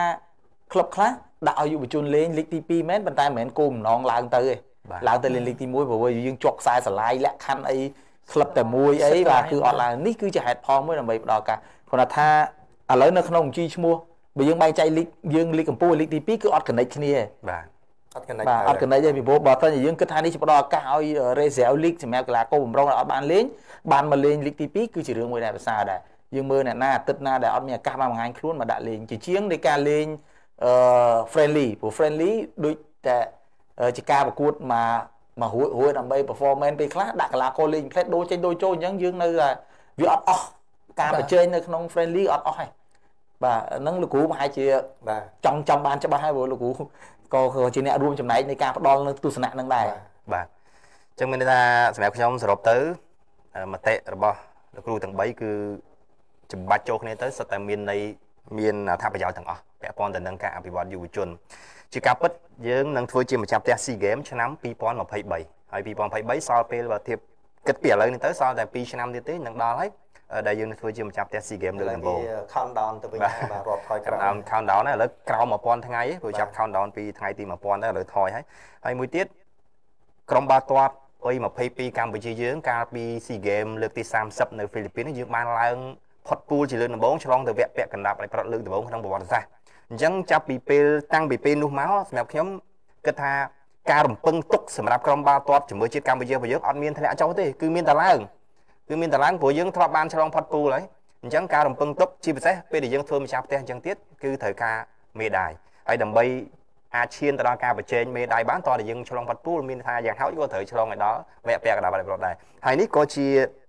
បើខ្ញុំចាំមិនច្រឡំទេគឺជាអឺការគិតនិងកំណត់របស់អាយដាមប្រធានសហព័ន្ធកីឡាបាល់ទាត់ដែរថាយ៉ាងហោចក៏យើងត្រូវឡើងឲ្យដល់វគ្គពាក់កណ្ដាប់ប្រវត្តិដែរពេលដែលយើងធ្វើជាម្ចាស់ផ្ទះអញ្ចឹងពីឆ្នាំនេះរហូតដល់2023វាជារឿងល្អច្រើនដែលយើងផ្ដល់ឱកាសដល់យុវជនឲ្យបានលេងលីក2ប៉ុន្តែបន្ទាប់ពីនោះមកវាដល់ពេលដែលយើងប្រែក្លាយលីក2របស់យើងទៅជាលីកអាជីពដែរបាទឲ្យមានការប្រកួតប្រជែងកាន់តែខ្ពស់ជាងហ្នឹងហើយឲ្យមានកីឡាករបរទេសអឺចូលលេងក្នុងហ្នឹងដែរបាទចូលលេងក្នុងហ្នឹងដែរអញ្ចឹងមានន័យថាមកទល់ពេលនេះបើសរុបជារួមទៅមានន័យថាលីក2យើងបច្ចុប្បន្ននេះមិនទាន់ជាលីកអាជីពអីទេគឺជាលីកយុវជនបាទគឺជាលីកយុវជនប៉ុន្តែ ក្រុមជើងឯកពីនឹងទៅឡើងទៅលីកកំពូលអញ្ចឹងបានជាយើងហៅថាលីកទី2តែម្ដងទៅប៉ុន្តែយើងមិនទាន់អាជីពពេញលេញដែលនឹងផ្ដល់អឺកូតាដល់កីឡាករបរទេសសម្រាប់ក្រុមនីមួយៗនៅឡើយទេយើងផ្ដោតលើយុវជនដើម្បីឆ្ពោះទៅ SEA Games 2023សិនតែដោយលោកគ្រូភាពត្រូវបានលើកឡើងអញ្ចឹងដែរខ្ញុំក៏គ្រប់គ្រងចំណុចនេះដែរពីព្រោះថាគោលបំណងរបស់យើងដើម្បីអភិវឌ្ឍកីឡាករខ្មែរអញ្ចឹងអញ្ចឹងកីឡាករដែលលេងនៅក្នុងលីកមួយចំនួនជាពិសេសក្រុមធំធំ មែនតើទៅមិនថាក្រុមធំក្រុមតូចទេលើកលែងតែអគ្គិសនីកម្ពុជាគឺមានកីឡាករបរទេសគ្រប់ក្រុមទាំងអស់ហើយជាទូទៅហ្នឹងគឺស៊ីអស់4រ៉ូលហើយអញ្ចឹង4នាក់កន្លែងហ្នឹងគាត់អាចនឹងមិនបានលេងក្នុងការប្រកួតហ្នឹងអញ្ចឹងកីឡាករខ្មែរដែលមិនបានលេងក្នុងការប្រកួតហ្នឹងគួរតែអាចអនុញ្ញាតឲ្យគាត់បានបង្កើនសមត្ថភាពបានអនុវត្តអ្វីដែលគាត់បានហាត់រៀនជាក់ស្ដែងនៅលោកគ្រូបានលើកឡើងថាការប្រកួតជាគ្រូដ៏ល្អហ្នឹងដូចគេថាឲ្យ practice make perfect ពាក្យរបស់គេនោះអញ្ចឹង អាចជាការផ្ដល់ឱកាសដ៏ល្អដល់ដល់គេដែរហើយនេះក៏មិនមែនជារឿងថ្មីដែរព្រោះថានៅប្រទេសជឿនលឿនគឺគេមានយូរហើយបាទកីឡាករដែលលេងលីកអត់បានទេបានតែរេសាវអីមិនមែនត្រឹមពេលលេងចប់កម្ដៅសាច់ដុំឬក៏រត់ហាត់ថែមអីខ្លួនឯងបន្តិចតិចក្រោយការប្រកួត4 10នាទីហ្នឹងទេគឺស្អែកឡើងលេងក្នុង reserve team របស់គេមួយ23អីចឹងដែរបាទបាទអូខេអឺមានសំណួរមួយសួរពីបង្កេតពាក់ព័ន្ធនឹង សំណួររបស់លោកមេសានិកាបាទគាត់ស្ទួរថាងបង្កេតឆ្នាំ2021នេះដូចរៀងមិនសូវយល់ចិត្តគ្នាតើគិតមិនដែរមែនតើទៅពាក់ព័ន្ធនឹងបង្កេតភ្នំពេញក្រោនកាលពីដើមវគ្គយើងបាននិយាយពីការប្រកួតទល់នឹងភ្នំពេញក្រោនខ្លះហើយដែរប៉ុន្តែខ្ញុំសូមបន្ថែមជាទស្សនៈផ្ទាល់ខ្លួនចំពោះបង្កេតអញ្ចឹងទៅចោះចំពោះខ្ញុំខ្ញុំគិតថាបង្កេតមិនជាធ្លាក់ជើងអីទេផ្ទុយទៅវិញ បង្កេតនៅដដែលគាត់នៅថាគាត់ប៉ះក្រុមសតែខ្លាំងខ្លាំងពីរដែលបានរុះរើច្រើនបាទដូចជា Naga កីឡាករបរទេសគាត់ដូរសឹងទាំងអស់ហើយកីឡាករខ្មែរក៏មកថ្មីច្រើនដែរដូចនេនសុធារតដូចនប់តុលាដូចតាំងសុភ័ក្រផ្សេងផ្សេងច្រើនកីឡាករខ្មែរនិងកីឡាករបរទេសមកថ្មីថ្មីច្រើន Super លូកាពេទ្រូហ្វូមីយ៉ាហ្គូរ៉េនេះសិតតែកីឡាករបរទេសល្អល្អហើយខាងភ្នំពេញក្រោនវិញ គាត់បានបដូរគ្រូហើយក៏គាត់បានផ្លាស់ប្ដូរកីឡាករបរទេសសឹងតែទាំងស្រុងដែរទុកតែ Andre Neto មួយទេក្រៅហ្នឹងថ្មីទាំងអស់អញ្ចឹងសម្រាប់សម្រាប់បឹងកេតវិញកីឡាករដដែលទាំងអស់ថ្មីតែលេខ99មួយកីឡាករ Marco ហ្នឹងប៉ុន្តែគាត់លេងអត់ល្អទេលក្ខណៈឈិនឆៃឈិនឆៃដែរតាមខ្ញុំបានដំណឹងមកហ្នឹងបឹងកេតមិនមែនចង់បានកីឡាករលេខ99ជនជាតិ step ហ្នឹងទេមកដើមឡើយគាត់ចង់បាន ម្ចាស់ស្បែកជើងមាសនៅលីកមីយ៉ាន់ម៉ាប៉ុន្តែដោយសារតែគាត់ជនជាតិនីសេរីគាត់អូខេជាមួយនឹងក្លឹបហើយហើយតែហោះមកបានដោយសារតែជនជាតិនីសេរីហ្នឹងគឺជា black list របស់គេច្រើនហោះទៅណាគាត់បានដែរមានតែហោះទៅស្រុកគាត់វិញបើសិនបើគាត់នៅនឹងហើយគាត់ចេញពីប្រទេសមួយហ្នឹងគឺពិបាកនឹងចូលប្រទេសហ្នឹងវិញទៀតបាទសូម្បីតែកីឡាករដែលលេងនៅស្រុកយើងមួយចំនួនជនជាតិនីសេរីយ៉ាងតើគាត់ហ៊ានចេញពីស្រុកខ្មែរប្រហែលជាចូលស្រុកខ្មែរវិញលេងបានទៀត អញ្ចឹងចំណុចមួយហើយចំណុចមួយទៀតហ្នឹងគាត់បានមើលវិនិច្ឆ័យរកកីឡាករបរទេសមួយទៀតឮថាត្រូវចិត្តខ្សែប្រយុទ្ធជនជាតិបារាំងម្នាក់លេងនៅលីក3បារាំងហ្នឹងប៉ុន្តែចុងក្រោយហោះមកបានហើយចុងក្រោយគេក៏បានលេខ99ហ្នឹងទៅប៉ុន្តែអ្វីដែលខ្ញុំក៏សម្គាល់មួយទៀតអានេះជាទស្សនៈផ្ទាល់ខ្លួនរបស់ខ្ញុំទេគឺអឺកីឡាករមីស៊ូណូហើយនិងខេនតាគាត់មនុស្សដដែលប៉ុន្តែសមត្ថភាពខ្ញុំគាត់ថាធ្លាក់ចុះជាងមុនអញ្ចឹងមានន័យថាបឹងកេតអឺ អាចថាដដែលឬក៏ធ្លាក់ចុះជាងមុនបន្តិចដោយសារតែកិនតាក់និងមីសនុគាត់ចាស់ហើយហើយគាត់លេងនៅទីនឹងយូរដែរប៉ុន្តែក៏មិនមែនបានន័យថាបឹងកេតអនដែរពីព្រោះបឹងកេតចាញ់មិនមែនចាញ់ក្រុមបានតារាងអីទេគឺចាញ់ក្រុមសត្វតែខ្លាំងពីរដែលសត្វតែជាអតីតជើងឯកបាទ Naga លើកពៀនក្តៅក្តៅដែរទេ2018បាទ ហើយភ្នំពេញក្រោន2014 15អញ្ចឹងសិតតែជាក្រុមខ្លាំងខ្លាំងបើសិនបើបង្កេតប្រកួតក្រោយក្រោយចាញ់អគិសនីចាញ់សូទីឡូហ្នឹងអូខេប្រហែលជាបង្កេតពិតជាធ្លាក់ចុះមែនប៉ុន្តែយើងចាំមើលការប្រកួតជាបន្តទៀតតែដោយសារតែថ្ងៃ10 11នេះអត់មានការប្រកួតទេព្រោះកីឡាករនិងមន្ត្រីក្លឹបត្រូវចាក់វ៉ាក់សាំងលើកលែងទៅវិសាខាជាមួយនឹងអគិសនីកម្ពុជាប្រហែលជាពួកគាត់បានចាក់វ៉ាក់សាំងហើយអញ្ចឹងពួកគាត់នឹងប្រកួតហើយបន្តិចទៀតយើងនឹងក៏ជជែកអំពី វិសាខាជាមួយនឹងអង្គិសនីកម្ពុជាដែរប៉ុន្តែឥឡូវនេះចង់ចូលប្រធានបទបន្តរបស់លោកគ្រូបូរវីបន្តិចពាក់ព័ន្ធទៅនឹងកំហុសនៃការពៀទី1ហ្នឹងបាទហ្នឹងហើយចំពោះសប្តាហ៍នេះដែរអ្វីដែលខ្ញុំចាប់អារម្មណ៍ហ្នឹងគឺមានក្របបាល់ច្រើនមែនទែនគឺប្រកួតមួយមួយគឺទាត់ចូលគ្នាច្រើនគ្រាប់អញ្ចឹងវាអាចជាយើងគិតទៅប្រហែលជាអាចជាមានបញ្ហាខ្លះនៅក្នុងពេលការពារហើយបានបង្កើត ជាកំហុសឲ្យយើងរបូតគ្រាប់បាល់អញ្ចឹងក្នុងសប្តាហ៍នេះខ្ញុំនឹងលើកយកប្រហែលជា3 4គ្រាប់មកមកវិភាគឲ្យមើលទាំងអស់គ្នាពីបញ្ហាដែលតិចតួចដែលចំពីខ្សែការពារ គេហៅថាខ្សែការពារទី1ខ្សែការពារដែលនៅគៀកបាល់ជាងគេបាទក្នុងអ្នកស្ថានការពារភាពទីហ្នឹង1មានន័យថាអ្នកដែលគៀកបាល់ជាងគេមិនមែនបានន័យថាគាត់ជារ៉ូលការហ្នឹងពារហើយទេអត់បាទទេហ្នឹងហើយមិនអ្នកណាគៀកបាល់ទោះថាគាត់ដល់គាត់លេងប្រយុទ្ធក៏ដោយតែបាទពេលហ្នឹងគឺគាត់នៅគៀកបាល់គឺគាត់ជាខ្សែជាអ្នកការពារទី1ហើយបាទអញ្ចឹងហើយឥឡូវនេះយើងមើលឧទាហរណ៍នេះគឺការប្រកួតរវាងតបជាមួយនឹងអឺអង្គរ Tiger ហ្នឹងហើយឈប់កន្លែងហ្នឹងបន្តិចអញ្ចឹងកន្លែងនេះគឺគាត់ជាខ្សែប្រយុទ្ធទេត្រូវណាគាត់ដើរបាល់អឺ គាត់ព្យាយាមទៅដើមបាល់ភ្លាមគាត់ព្យាយាមលេងទៅលើប៉ុន្តែពេលហ្នឹងគឺគាត់បាត់បាល់ភ្លាមដើម្បីក្នុងពេលហ្នឹងដែរកាលណាដែលយើងបាត់ភ្លាមគាត់ប្រតិកម្មដើម្បីបង្ហាញថាគាត់សោកស្ដាយគាត់ព្យាយាមទៅទៅដើមបាល់100%មកគេហៅថាលូកអស់អស់ហ្មងហើយអញ្ចឹងតែដោយសារតែគាត់រៀបអឺបើន័យថាដៃគូយើងនេះគេរៀបចំការគ្រប់គ្រងបាល់បានល្អហើយយើងទៅ100%គឺដាច់ទាំង100%អញ្ចឹងណាអញ្ចឹងកាលណាដែលគាត់ទៅអញ្ចឹងទាំងអាអាចិត្តចង់ទៅដើមបង្ហាញថាយើងសោកស្ដាយអឺ យើងទៅកន្លែងនេះគឺបាត់បាល់អូខេជួយទៅមុខបន្តិចទៀតគឺទៅដើមបាល់អត់បានទេគេបន្ទាប់មកអូខេ stop កន្លែងកន្លែងនេះមួយទៀតគឺកីឡាករដែលមកខ្សែកាពីទី1ដដែលគាត់មួយផ្សេងទៀតដែលឡើងមករកបាល់ហ្នឹងគឺឡើងដែរប៉ុន្តែយើងមើលចំហគាត់ឡើងមករកបាល់គឺគាត់បាយក្នុងដាក់បាល់ហ្នឹងឲ្យឡើងមកបានន័យថាអត់មានបំណងចង់ទៅដើមបាល់ហើយនិយាយទៅយើងបើនិយាយទៅគ្រាន់តែឡើងដល់ឲ្យទៅបង្ហាញទេតែគោលបំណងគាត់អត់ចង់ថាគៀងឲ្យទៅខាងណាអីខាងណាអីបាទបាទហើយអឺអាចទៅមុខទៀតក្រុមការងារ គេនេះកន្លែងនេះដែលដែលត្រូវពិចារណាអញ្ចឹងកន្លែងនេះយើងមើលទៅនៅនៅនៅក្នុងមុខទីយើងឃើញមានកីឡាករច្រើនណាស់តែប៉ុន្តែដោយស្ថានភាពអស់នេះគឺកីឡាករផ្សេងផ្សេងគឺ out of game ហើយគឺបានន័យថានៅក្រៅល្បែងហើយបាទដោយសារតែខាងអង្គរ Tiger គាត់រំដោះខ្លួនបាទនដល់ផុតអីអញ្ចឹងគឺគឺអត់មានកីឡាករស្ទាប់ផ្សេងទៀតគឺបានន័យថាអត់អាចជួយបានស្ថានភាពហ្នឹងអញ្ចឹងមានកីឡាករឥឡូវគាត់មានខ្សែការពារតែមួយទេអញ្ចឹងស្ថានភាពនេះយើងមើលអូខេជួយ play វីដេអូទៅមុខទៀត គឺ Tiger កន្លែងនេះគឺស្ថានភាពបើយើងគិតជា small size game គឺ2ទល់1ហើយអញ្ចឹង2ទល់1ធម្មតាអឺកីឡាករខ្សែការពារម្នាក់ហ្នឹងត្រូវសម្រេចចិត្តហើយតែគាត់ត្រូវឡើងឡើងឬក៏ត្រូវការបារម្ភកីឡាករដែលនឹងមានឱកាសបាទម្នាក់ទៀតនោះអញ្ចឹងប៉ុន្តែកន្លែងនេះដោយសារតែការសម្រេចចិត្តរបស់ខ្សែការពារទី1នេះគាត់សម្រេចចិត្តថាឡើងអញ្ចឹងធ្វើឲ្យបង្កើត space នៅក្រោយនោះនៅក្រៅខ្នងរបស់គាត់បាទនឹងអាចឲ្យកីឡាករអឺ Tiger ម្នាក់ទៀតហ្នឹងមានឱកាសទៅទាត់ទីបានគ្រោះថ្នាក់ចំពោះគ្រាប់ហ្នឹងបាទអញ្ចឹងយើងមើលវីដេអូនឹងបន្តទៀតបាទគឺមកគ្រាប់តែម្ដងបាទហ្នឹងគឺគឺតគ្នាខុសតគ្នាទៅអឺរវីសូមសូមបន្ថែមទៅនេះលោកគ្រូអាចយល់អញ្ចឹងហ៎សម្រាប់ខ្ញុំខ្ញុំគិតថាបាទអាចអាចនឹងស្កប់កន្លែងចំណុចដែលប៉ះចេញយើងមើលកន្លែងនេះបាទកន្លែងនេះ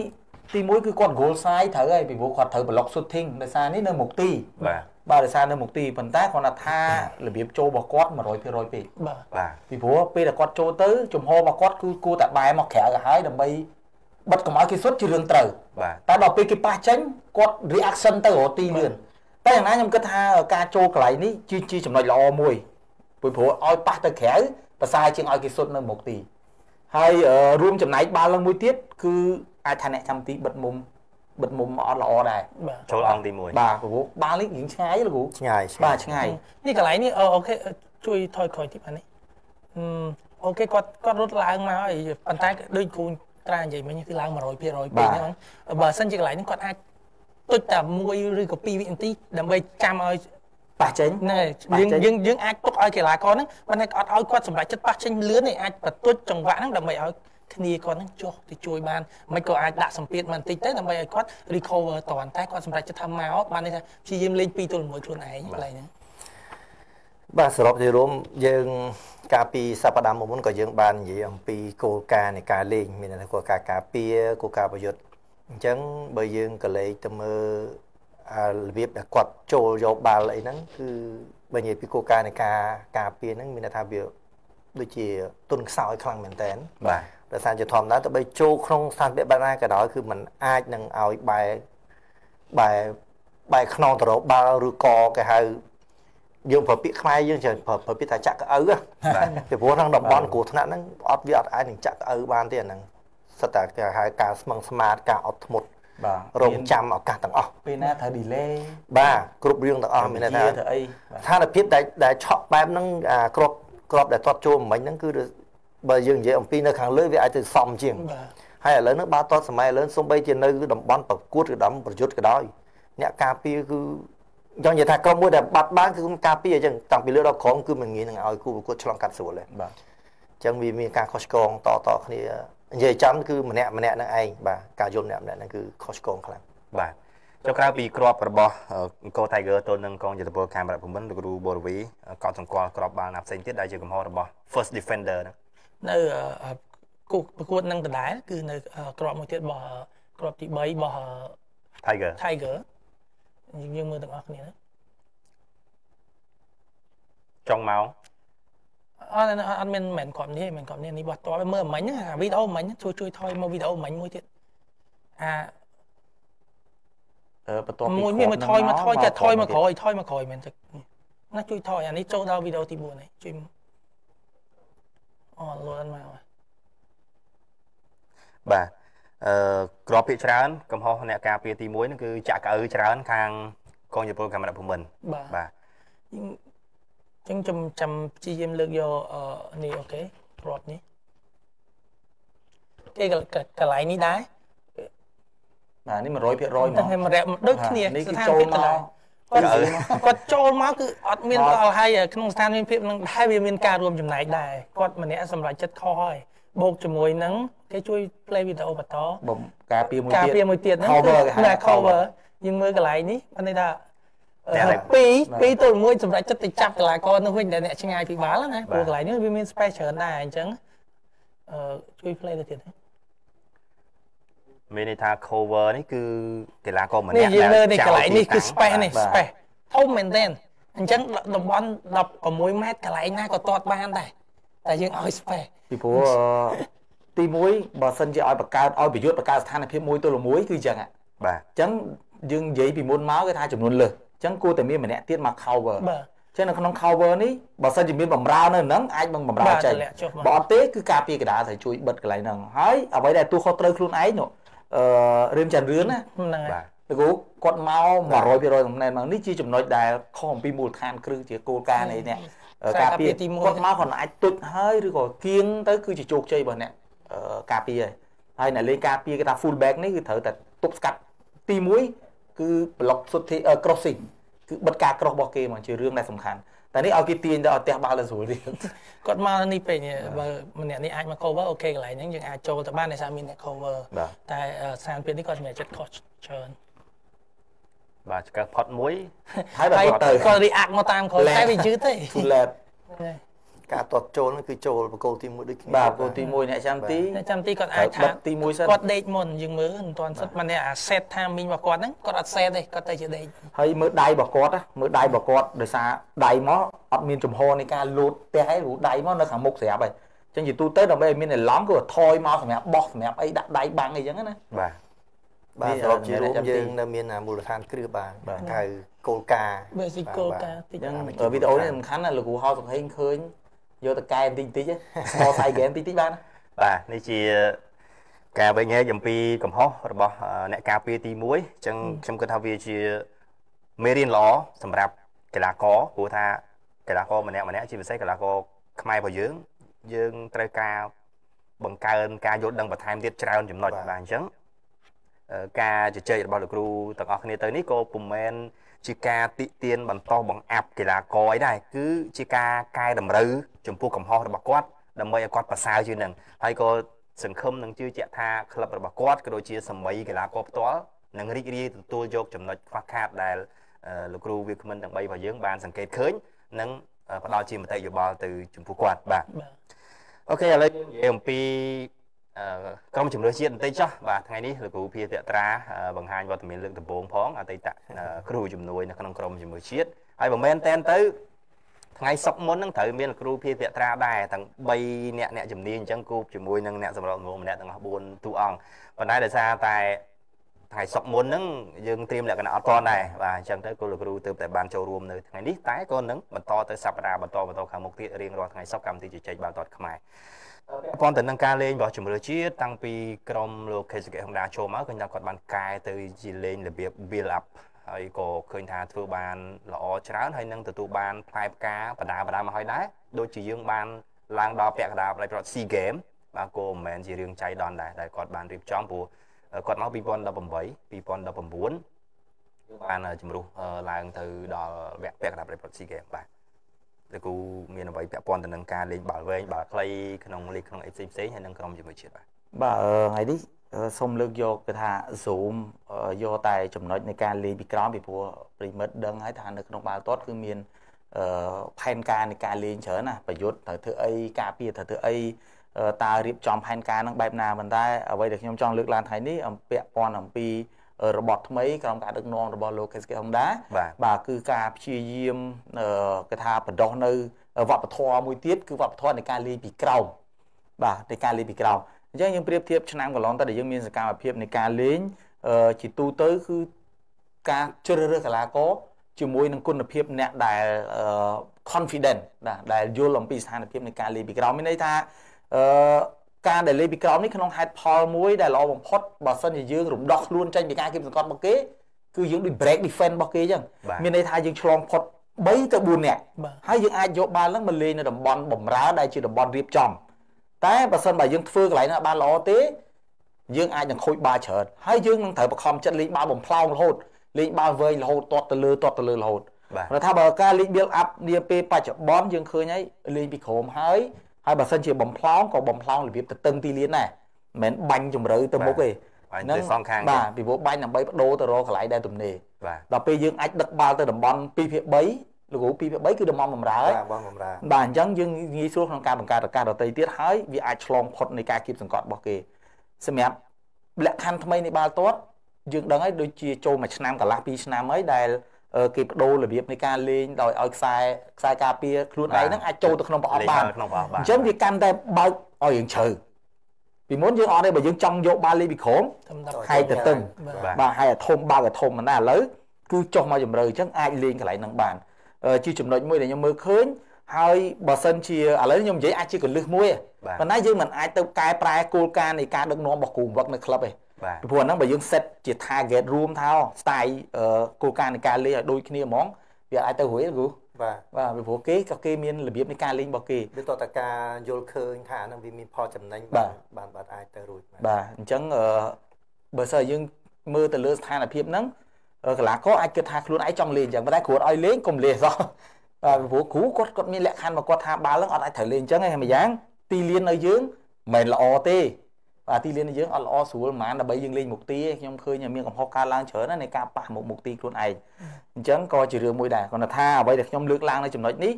អឺប្រៀបធៀបជាមួយនឹងការជ្រើសរើសវិញណាបាទបើគ្រូទៅ scouting វិញគាត់នឹងអាចផ្ដោតទៅលើកលៈស័កដែលថាកីឡាករហ្នឹងមានរបៀបនេះគ្រាន់តែមុំទូចមួយ ដែលអាចលេងពីក្រោមទៅបានបាទអាចលេងពីក្រោមទៅបាន អញ្ចឹងអឺនៅលីកយើងឥឡូវក៏អត់ទាន់មានដែលលេងពីក្រោមនៅក្នុងការគៀបសង្កត់ដែរបាទបើលេងនៅពេលដែលក្រុមគេអត់ដេញហ្មងក្រុមគេតម្លាក់បាទហើយបាទមានន័យថា free free build up ប៉ុន្តែបើលេងប៉ះជាមួយក្រុមដែលគេប្រេះនៅលើបាទឥឡូវយើងមើលរូបភាពខ្លះខ្លះនៅពេលដែលហុងកុងគាត់ព្យាយាមប្រេះយើងដបោដបោណាដល់ពេលប្រេះយើងអត់បានគាត់គេចាប់ផ្ដើមតម្លាក់នេះហេតុផលមួយធ្វើឲ្យយើងមានឱកាស ball possession បាទអាចគ្រប់គ្រងបាល់ហ្នឹងគ្រាន់តែជាហេតុផលមួយនៅក្នុងបាល់ទាត់ទេមានន័យថានៅពេលដែលគេមកប្រេះយើងអត់បានគេចាប់អារម្មណ៍បារម្ភនៅតំបន់ការពាររបស់គេបាទគេទម្លាក់ខ្លួនមកវិញណាហើយអញ្ចឹងយើងងាយស្រួលក្នុងការលេងពីក្រោមមកវិញដោយអត់មានបាល់ទៅបារម្ភ free អីឯងបាទហើយប៉ុន្តែយើងមិនមែនថាលេងបាល់បំផ្លាញអាក្រក់ទេបាទគឺគឺសិតតែមានហេតុផលទាំងអស់អឺបើសិនជាការរៀបចំផែនការថ្មីនេះមានន័យថាយើងឃើញមានភាពខុសប្លែក ដោយសារអីនៅពេលដែលយើងមិនបំផ្លោងទៅគេបញ្ចេញយកបាល់បានបាទពីព្រោះលោក KSK Honda គាត់មើលទៅលើកម្រិតនៃការប្រកួតប្រជែងបាល់លើយើងអត់ឈ្នះគេទេបាទយើងបាទភាគច្រើនកាយសម្បទារបស់យើងចាញ់គេបាទអញ្ចឹងគាត់ត្រូវបដូររបត់លេងហើយបាទគាត់ត្រូវបដូរបត់លេងគាត់ត្រូវចាយពេលវេលាទៀតមិនតិចឆ្នាំទេតម្រាំឲ្យកីឡាករយើងយល់ហើយបើថា adaptation វិញលោកគ្រូហាត់ដែរដែរហ្មងប៉ះមកអញ្ចេះរំដោះខ្លួនបើគេប្រេះមកត្រូវចលនាទៅណាធ្វើគ្រប់សពបែបយ៉ាងរហូតតលកីឡាករនោះទៅជាមេរៀនណាទៅជារូបមន្តណាបាទបាទនេះគឺជារឿងមួយ ហើយអឺសូម្បីតែពេលខ្លះបាល់ចូលតំបន់ប្រយុទ្ធវិញបាល់ចូលតំបន់ប្រយុទ្ធវិញឥឡូវយើងរំដោះខ្លួនបានណាណាចូលទៅដល់បកាសកាសតំបន់ប្រយុទ្ធវិញក៏សឹងថាអត់មានលំហាត់ណាដែលបាល់លើដែរលោកគ្រូបាទគឺភាគច្រើនបាល់រៀបរៀបរៀបរៀបរហូតបាទអឺលោកគ្រូពាក់ព័ន្ធនឹងចំណុចហ្នឹងបាទលោកគ្រូមានអីចង់បន្ថែមអឺមិញអឺត្រាបាននិយាយអំពីគេហៅទស្សនៈនៃការលេងថ្មីរបស់យើង ដែលយើងគិតថាបានជោគជ័យរហូតដល់អាចនឹងយកក្រុមបានឈានទៅដល់វគ្គពាក់កណ្ដាប់ឯកប្រទៅទៀត SEA Games អញ្ចឹងបើយើងនិយាយអំពីទស្សនៈរួមថាតើហេតុអីបានជាក្រុមឥឡូវហ្នឹងមិនមែនតែខ្មែរយើងសឹងតែលើពិភពលោកហើយដែលចាប់ដើមលេងពីក្រោមបាទដោយវាមានហេតុផល3សំខាន់ហេតុផលទី1អឺទីទស្សនៈរួមដែលយើងបានទៅចែកជាពិសេសទៅគ្រូហៅគ្រូតកតននឹងគ្រូអទេសដែលតកតងនឹងគាត់មានជំនាញខាងខាងផ្នែកប្រដាគ្រូហ្នឹងបាទគឺ ពេលណាដែលយើងលេងបាល់ផ្លោងមានន័យថាវាចាត់ទុកថាដូចដូច50 50 50ហើយបាទមានន័យថារាល់ពេលទោះបីជាក្រុមនឹងមានកម្ពស់ស្មើគ្នាយ៉ាងណាក៏ដោយគឺ50 50ហើយអ្នកដែលចាប់ផ្ដើមដំបូងគេបំផុតគឺអេស្ប៉ាញដោយសារតែគាត់បានមានទស្សនៈថាគាត់រើសកីឡាករដែលល្អបាទមិនមែនសំខាន់កម្ពស់ទេអញ្ចឹងគាត់និយាយហ្នឹងមិនមែនមានន័យថាកម្ពស់មិនសំខាន់តែទីតាំងណាដែលសំខាន់បាទគឺថាការពីកដាអ្នកចាំទី ឬក៏កន្លែងបារឬក៏ប្រយុទ្ធអញ្ចឹងទៅអញ្ចឹងដល់ឡែកយើងមើលកីឡាកររបស់អេស្ប៉ាញដំបូងគឺទូចៗអញ្ចឹងបាទអញ្ចឹងត្រឡប់មកវិញអឺយើងមើលខ្មែរដូចអឺត្រាបានបានបញ្ជាក់ហើយថាតើបើសិនជាយើងលេងបាល់ផ្លំមានកន្លែងណាមួយប្រជែងឧទាហរណ៍ដូចហុងកុងអញ្ចឹងខ្ពស់ខ្ពស់ធំធំហើយចំណុចទី2មានន័យថា50 50ហ្នឹងគឺយើងត្រូវការត្រូវការអឺលក្ខខណ្ឌមួយទៀតគឺមានន័យថាយើងត្រូវការការរៀបចំជួរទី2មកមកមកតង់ទៀតបាទអញ្ចឹងការចំណាយកម្លាំង ទី1អាការប៉ះទង្គិចទី1ទី2តែការចំណាយទៅលើការដណ្ដើមបាល់លើកទី2ម្ដងទៀតបាទទី3នោះចំណុចទី3ដែលសំខាន់ហ្នឹងគឺមានន័យថាការលេងបាល់ក្រោមមិនមែនឥឡូវនេះបាល់តឥឡូវមិនមែនមានន័យថាតែពីក្រោមហ្នឹងទេបាទការលេងបាល់ក្រោមគឺជាអឺជាការលេងមួយដែលងាយបំផុតដែលងាយជាងគេ មានន័យថាបាល់ផ្លោងគឺពិបាកអញ្ចឹងពិភពលោកខ្ញុំមើលឃើញក្រុមនៅលើពិភពលោកគឺលេងបាល់ក្រោមទាំងអស់ហើយបាទហើយនឹងនិយាយដែលយើងឃើញចាស់ស្ដែងដែលការដែលអ្នកដែលធ្វើបដិវត្តន៍យើងបាននិយាយថាក្រុមរបស់យើងមិនได้ធ្វើបដិវត្តន៍ដំបូងជាមួយនឹងបាសេឡូណាហ្នឹងមានន័យថាពីរជើង7គ្រាប់គឺដោយសារតែកុំលេងខ្លីដូចគ្នាបច្ចេកទេសដូចគ្នាតែចុងក្រោយឈ្នះហ្នឹងការប៉ះទង្គិចបាទអញ្ចឹងខ្មែរយើងគឺអឺចំពោះខ្ញុំទេដោយសារយើងមើលឃើញហើយការដែលហុងដាគាត់រើសកីឡាករមកហ្នឹងគឺមិនមែន គាត់អត់សំដៅទៅលើមៀតប្រហែលទេបាទគឺមានន័យថាកីឡាករភាកច្រើនតូចតូចដែរទេយើងអញ្ចឹងអ្វីដែលយើងលេងគឺវាសមស្របហើយដូចក៏ជាបាទ Manchester City អងហើយក៏តូចតូចដែរបាទមិនធំទេអូប្រេសហើយក៏លេងពីក្រោមច្រើនមែនតើតែពាក់ព័ន្ធទៅនឹងការលេងពីក្រោមនឹងដែរមានប្រិមិត្តពុទ្ធិបុត្រនេះគាត់លើកឡើងថាអឺដោយការយើងប្រកួតជាមួយនឹងអ៊ីរ៉ង់អញ្ចឹងអឺយើងចាញ់គេច្រើនគ្រាប់គឺយើងលេងបាល់គ្រប់គ្រងបាល់អត់បានយូរទេគឺអ៊ីរ៉ង់ដែលកីឡាករគេលេងនៅអឺរ៉ុបច្រើនដែរបាទ គេប្រេសយើងយកបានលឿនមែនតើអញ្ចឹងចំពោះការលេង build up ហ្នឹងយើងគួរតែបត់បែនខ្លះទេនៅពេលដែលយើងប៉ះជាមួយនឹងគូបដិបត្តិផ្សេងគ្នាអញ្ចឹងអឺថ្ងៃហ្នឹងស្ថានភាពអឺស្ថានភាពដែលបត់បែនហ្នឹងគឺយើងព្យាយាមដូរកីឡាករដែរហើយយើងព្យាយាមធ្វើនៅការបញ្ចេញបាល់ទី2ប៉ុន្តែយើងនៅតែអត់មានលទ្ធភាពក្នុងការឈ្នះនៃការតែបាល់លើទេកម្រិតខុសឆ្ងាយបាទអញ្ចឹងយើងចាត់ទុកថាការប្រកួតនេះជាមេរៀនមួយសម្រាប់ផ្សារភ្ជាប់ទៅប្រកួតក្រោយទៀតទីបំផុតយើងនៅប្រើប្រាស់កីឡាករយុវជនច្រើនសម្រាប់ត្រៀម SEA Games បាទហើយនេះក៏ជាការផ្ដល់នៅអភ័យឯកសិទ្ធិមួយទៅដល់គ្រូបង្វឹកដែរបាទព្រោះថាអឺជាផែនការរបស់គាត់ដើម្បីបាទគោលដៅរបស់គាត់ដើម្បីគាត់សម្រួចទៅដល់ការប្រកួតណាមួយហើយយើងព្យាយាមមិនមែនថាយើងមិនមានការបាល់បំផ្លោនដើម្បីគេចចេញពីតំបន់គ្រោះថ្នាក់ទេប៉ុន្តែនៅពេលដែលយើងទាត់ទៅវាដូចជាអញ្ចឹងដែលឡងមកឲ្យគេប្រកាសប្រកាសមកយើងវិញទេបាទបាទបាទអឺ យ៉ាងណាក៏ដោយឃើញថាយើងបានផលវិជ្ជមានច្រើនជាងអវិជ្ជមានបាទពាក់ព័ន្ធទៅនឹងការលេងហើយក៏ទទួលបានការសាទរច្រើនពីសាធារណជនដែរហើយយើងក៏មានការគ្រប់គ្រងបាល់បានប្រសើរជាងមុនតែពាក់ព័ន្ធទៅនឹងការបំផ្លោងបើកាលមុនអឺខ្ញុំធ្លាប់ធ្វើការជាមួយនឹងគ្រូបង្វឹកអីខ្លះខ្លះៗដែរបន្តិចបន្តួចទេមិនមែនជាការអឺបង្ហាញអីទេប៉ុន្តែខ្ញុំចង់លើកពីករណីមួយថាដូចជាគាត់ចូលចិត្តលេង build up ដែរឲ្យលេងពីក្រោមលេងពីក្រោមប៉ុន្តែបើក្នុងករណីថាលេង build up ពីក្រោមពីក្រោមមកអឺ គេប្រេះខ្លាំងពេកយើងធ្វើអត់បានល្អបាញ់ខ្លះទៅបាញ់ដើម្បីដេញខាងគេនឹងឲ្យធ្លាក់ចុះទៅវិញខ្លះពេលដែលគេធ្លាក់ចុះទៅវិញខ្លះចាំចាប់ដើមលេង build up ផ្សារឡើងវិញម្ដងទៀតអញ្ចឹងមានថានៅក្នុងការប្រកួតមិនមែនមានថាយើងតតែ build up បានបាល់មក build up រហូតទេបាទគឺយើងអាចបត់បែនបន្តិចបន្តិចនៅក្នុងការប្រកួតនឹងដែរមិនអញ្ចឹងហ៎គ្រូបាទហើយបាញ់ហ្នឹងបើថាជាការបំផ្លោងហ្នឹងមានសន្តានច្រើនណាស់លោកគ្រូត្រូវអបាទត់ពីព្រោះទី1គេថាបាញ់របៀបបំផ្លោង switch ការបដូរខាងទៅតឹងទីលានការរំដោះចេញពីការគៀបសង្កត់អញ្ចឹងអាការបំផ្លោងហ្នឹងវាជាបាល់មួយដែលលឿននឹងទៅដល់អឺ ដៃគូហើយងាយក្នុងការ train ណាគេថា change piece អឺសម្រាប់ reaction នៃការប្រយុទ្ធលឿនគេថាបដូរកណ្ដងនៃការប្រយុទ្ធលឿនហើយការបំផ្លោងទៀតសោតយើងឃើញបើសិនជាមានមៀតធំដូចគ្នាអ្នកដែលបំផ្លោងគ្រូវឹកគាត់គិតដែរគាត់ថាគុណភាពកីឡាករគាត់តែបញ្ចេញបាល់លើបានអញ្ចឹងគាត់បាញ់ឲ្យចំមនុស្សហ្មងបាទគាត់ទាត់បំផ្លងឲ្យចំកីឡាកររបស់គាត់ហើយដើម្បីគាត់បញ្ចេញបាល់ទី2អញ្ចឹងបាល់ទី2យើងមើលថាខ្សែប្រយុទ្ធខ្លះគាត់តែថ្ងៃទៅក្រោយខ្សែប្រយុទ្ធខ្លះតែតម្លាក់មកមុខដើម្បីឲ្យបំរើទៅយក អញ្ចឹងមានសារភាពហើយការបំផ្លងខ្លះទៀតគឺបាញ់ពីក្រោយខ្នងខ្សែការពារនៅពេលដែលខ្សែការពារឈរឡាញអត់ត្រឹមត្រូវឬក៏ចន្លោះពេកមិនអាចចាប់ជាពិសេសមានកីឡាខ្សែប្រយុទ្ធដែលមានល្បឿន target man ដែលមានល្បឿនអញ្ចឹងគេអត់សូវឲ្យទទួលបាល់នៅមុខមុខទេគេឲ្យបោះពីក្រោយត្រូវបំផ្លោមពីក្រោយហ្នឹងអញ្ចឹងយើងមានហេតុផលច្រើនណាស់សម្រាប់ការលេងបាល់បំផ្លោមបាទហើយពាក់ព័ន្ធទៅនឹងការបំផ្លាវនឹងដែរថាបាល់ goal kick បាល់ទាត់ចេញពីផ្ទៃទីខាងយើងហើយជាទូទៅហ្នឹងគឺអ្នកចាំទីទាត់ទៅឆ្វេងឬក៏ទៅស្ដាំ បាទ អឺมันมันជាទូទៅគោលការណ៍គ្រូมันទាត់ឲ្យកដាលទីលានទេអាហ្នឹងដោយសារអី អាហ្នឹងខ្ញុំអឺបើជាទស្សនៈគ្រូដែលខ្ញុំដឹកនាំដោយសាររាល់ពេលដែលខ្ញុំលេងអវងសង្ឃ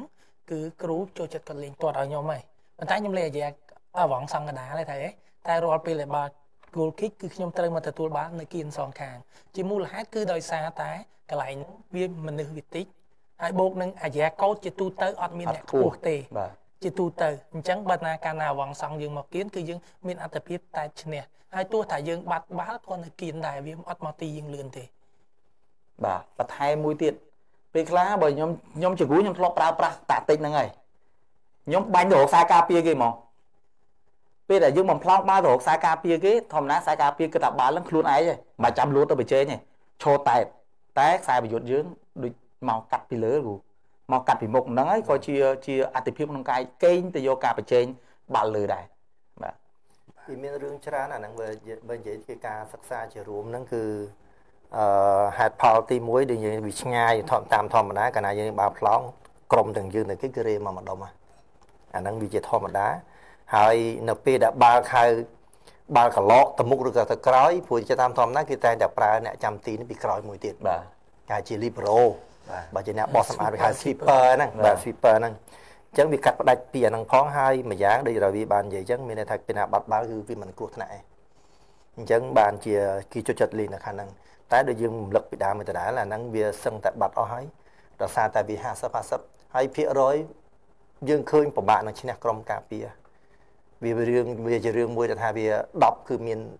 6ដែលអ្នកការក្រុមការពារឈ្នះបាទអញ្ចឹងហើយបានជារបត់ថ្មីដែល បាទតតលើនេះគឺចាប់ដើមពីក្រោមនេះគឺសឹងតែគ្រប់ក្រុមហើយការលេងពីក្រោមសឹងគ្រប់ក្រុមហើយបាទព្រោះវាងាយនឹងធ្វើបាទពេលលេម៉ារ៉ាដូណាបាទអអត់ត់មួយដូចទៀតលោកគ្រូបើហ្នឹងហើយលោកគ្រូនិយាយត្រូវព្រោះបើសិនជាយើងយើងលេងអញ្ចឹងខ្សែប្រយុទ្ធយើងលពោះច្រើនដូតរហូតបាទដូចបថុយយកខ្សែប្រយុទ្ធយកទៅប៉ះតង្កិចឯហ្នឹងហើយម្យ៉ាងការពារគេហាត់ក្បាលជាប្រចាំទៅទៀតបាទដូចអាការខ្ញុំចាំលេងការលេងមួយជប៉ុនខ្ញុំលោតឡើងល្មកកពើ ព្រោះថាលោតគ្រប់ពេលលោត goal kick គឺខ្ញុំត្រូវតែលោតជួ challenge ការគេខ្ជិលនឹងលោតតាមយើងឲ្យយើងលោតទៅទេតែយើងព្រោះយើងមកគុំតែយើងទូទៅបាល់នៅគេដដែលទេបាទព្រោះខ្ញុំទៅតែបានក៏ពាក្យពាក្យតិចណាស់តែយើងបានបាល់បាទអឺជាការពិតពាក់ព័ន្ធទៅនឹងការលេង build up នៅក្នុង league របស់យើងអឺមិនទាន់ច្រើនប្រហែលទេ មានក្រុមតិចតួចដែលលេង build up អញ្ចឹងប៉ុន្តែលោកគ្រូអាចទេអឺទីមួយលោកគ្រូភេទវត្រាគាត់បានលើកឡើងមុននឹងតិចហើយថាអាចពាក់ព័ន្ធទៅនឹងទីលានខ្លះវាមិនសូវអំណោយផលដែរប៉ុន្តែមួយទៀត អាចដោយសារតែខ្សែការពាររបស់គាត់មិនអាចផ្ដល់ទំនុកចិត្តគ្រប់គ្រាន់ដល់គ្រូម្លឹកទេបាទនេះគឺជាហេតុផលមួយហើយអឺខ្ញុំឃើញមួយទៀតបើសិនជាយើងចង់លេងអញ្ចឹងណាបាទយើងត្រូវចាយពេលវេលាជាច្រើនសម្រាប់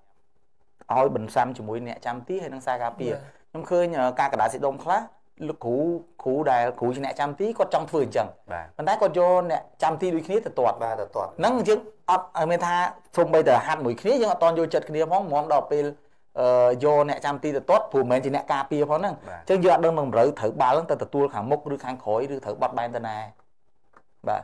វាជាចំណុចមួយដែរដែលត្រូវអឺបើនិយាយទៅចាយពេលវេលាវឹកហាត់ដែរគ្រូបាទមានន័យថាអ្វីៗគឺត្រូវការពេលបាទត្រូវការបាទពេលសុំសុំច្រើនទៀតតិចចុះយើងនិយាយអំពីហុងដែរនេះក៏និយាយពីបាល់ខ្លីបាល់វែងហ្នឹង យើងមើលរាល់ពេលសិតតែតកតងទៅនឹងការធ្វើតដាតដាតដាតែជំរឿសទី1ជំរឿសទី2ជំរឿសទី3អញ្ចឹងហ៎បាទអញ្ចឹងមើលយើងមើលនៅពេលដែលលេងក្រមណានៅពេលដែលការដែលចង់បាល់ភ្លេងបាល់បាល់វែង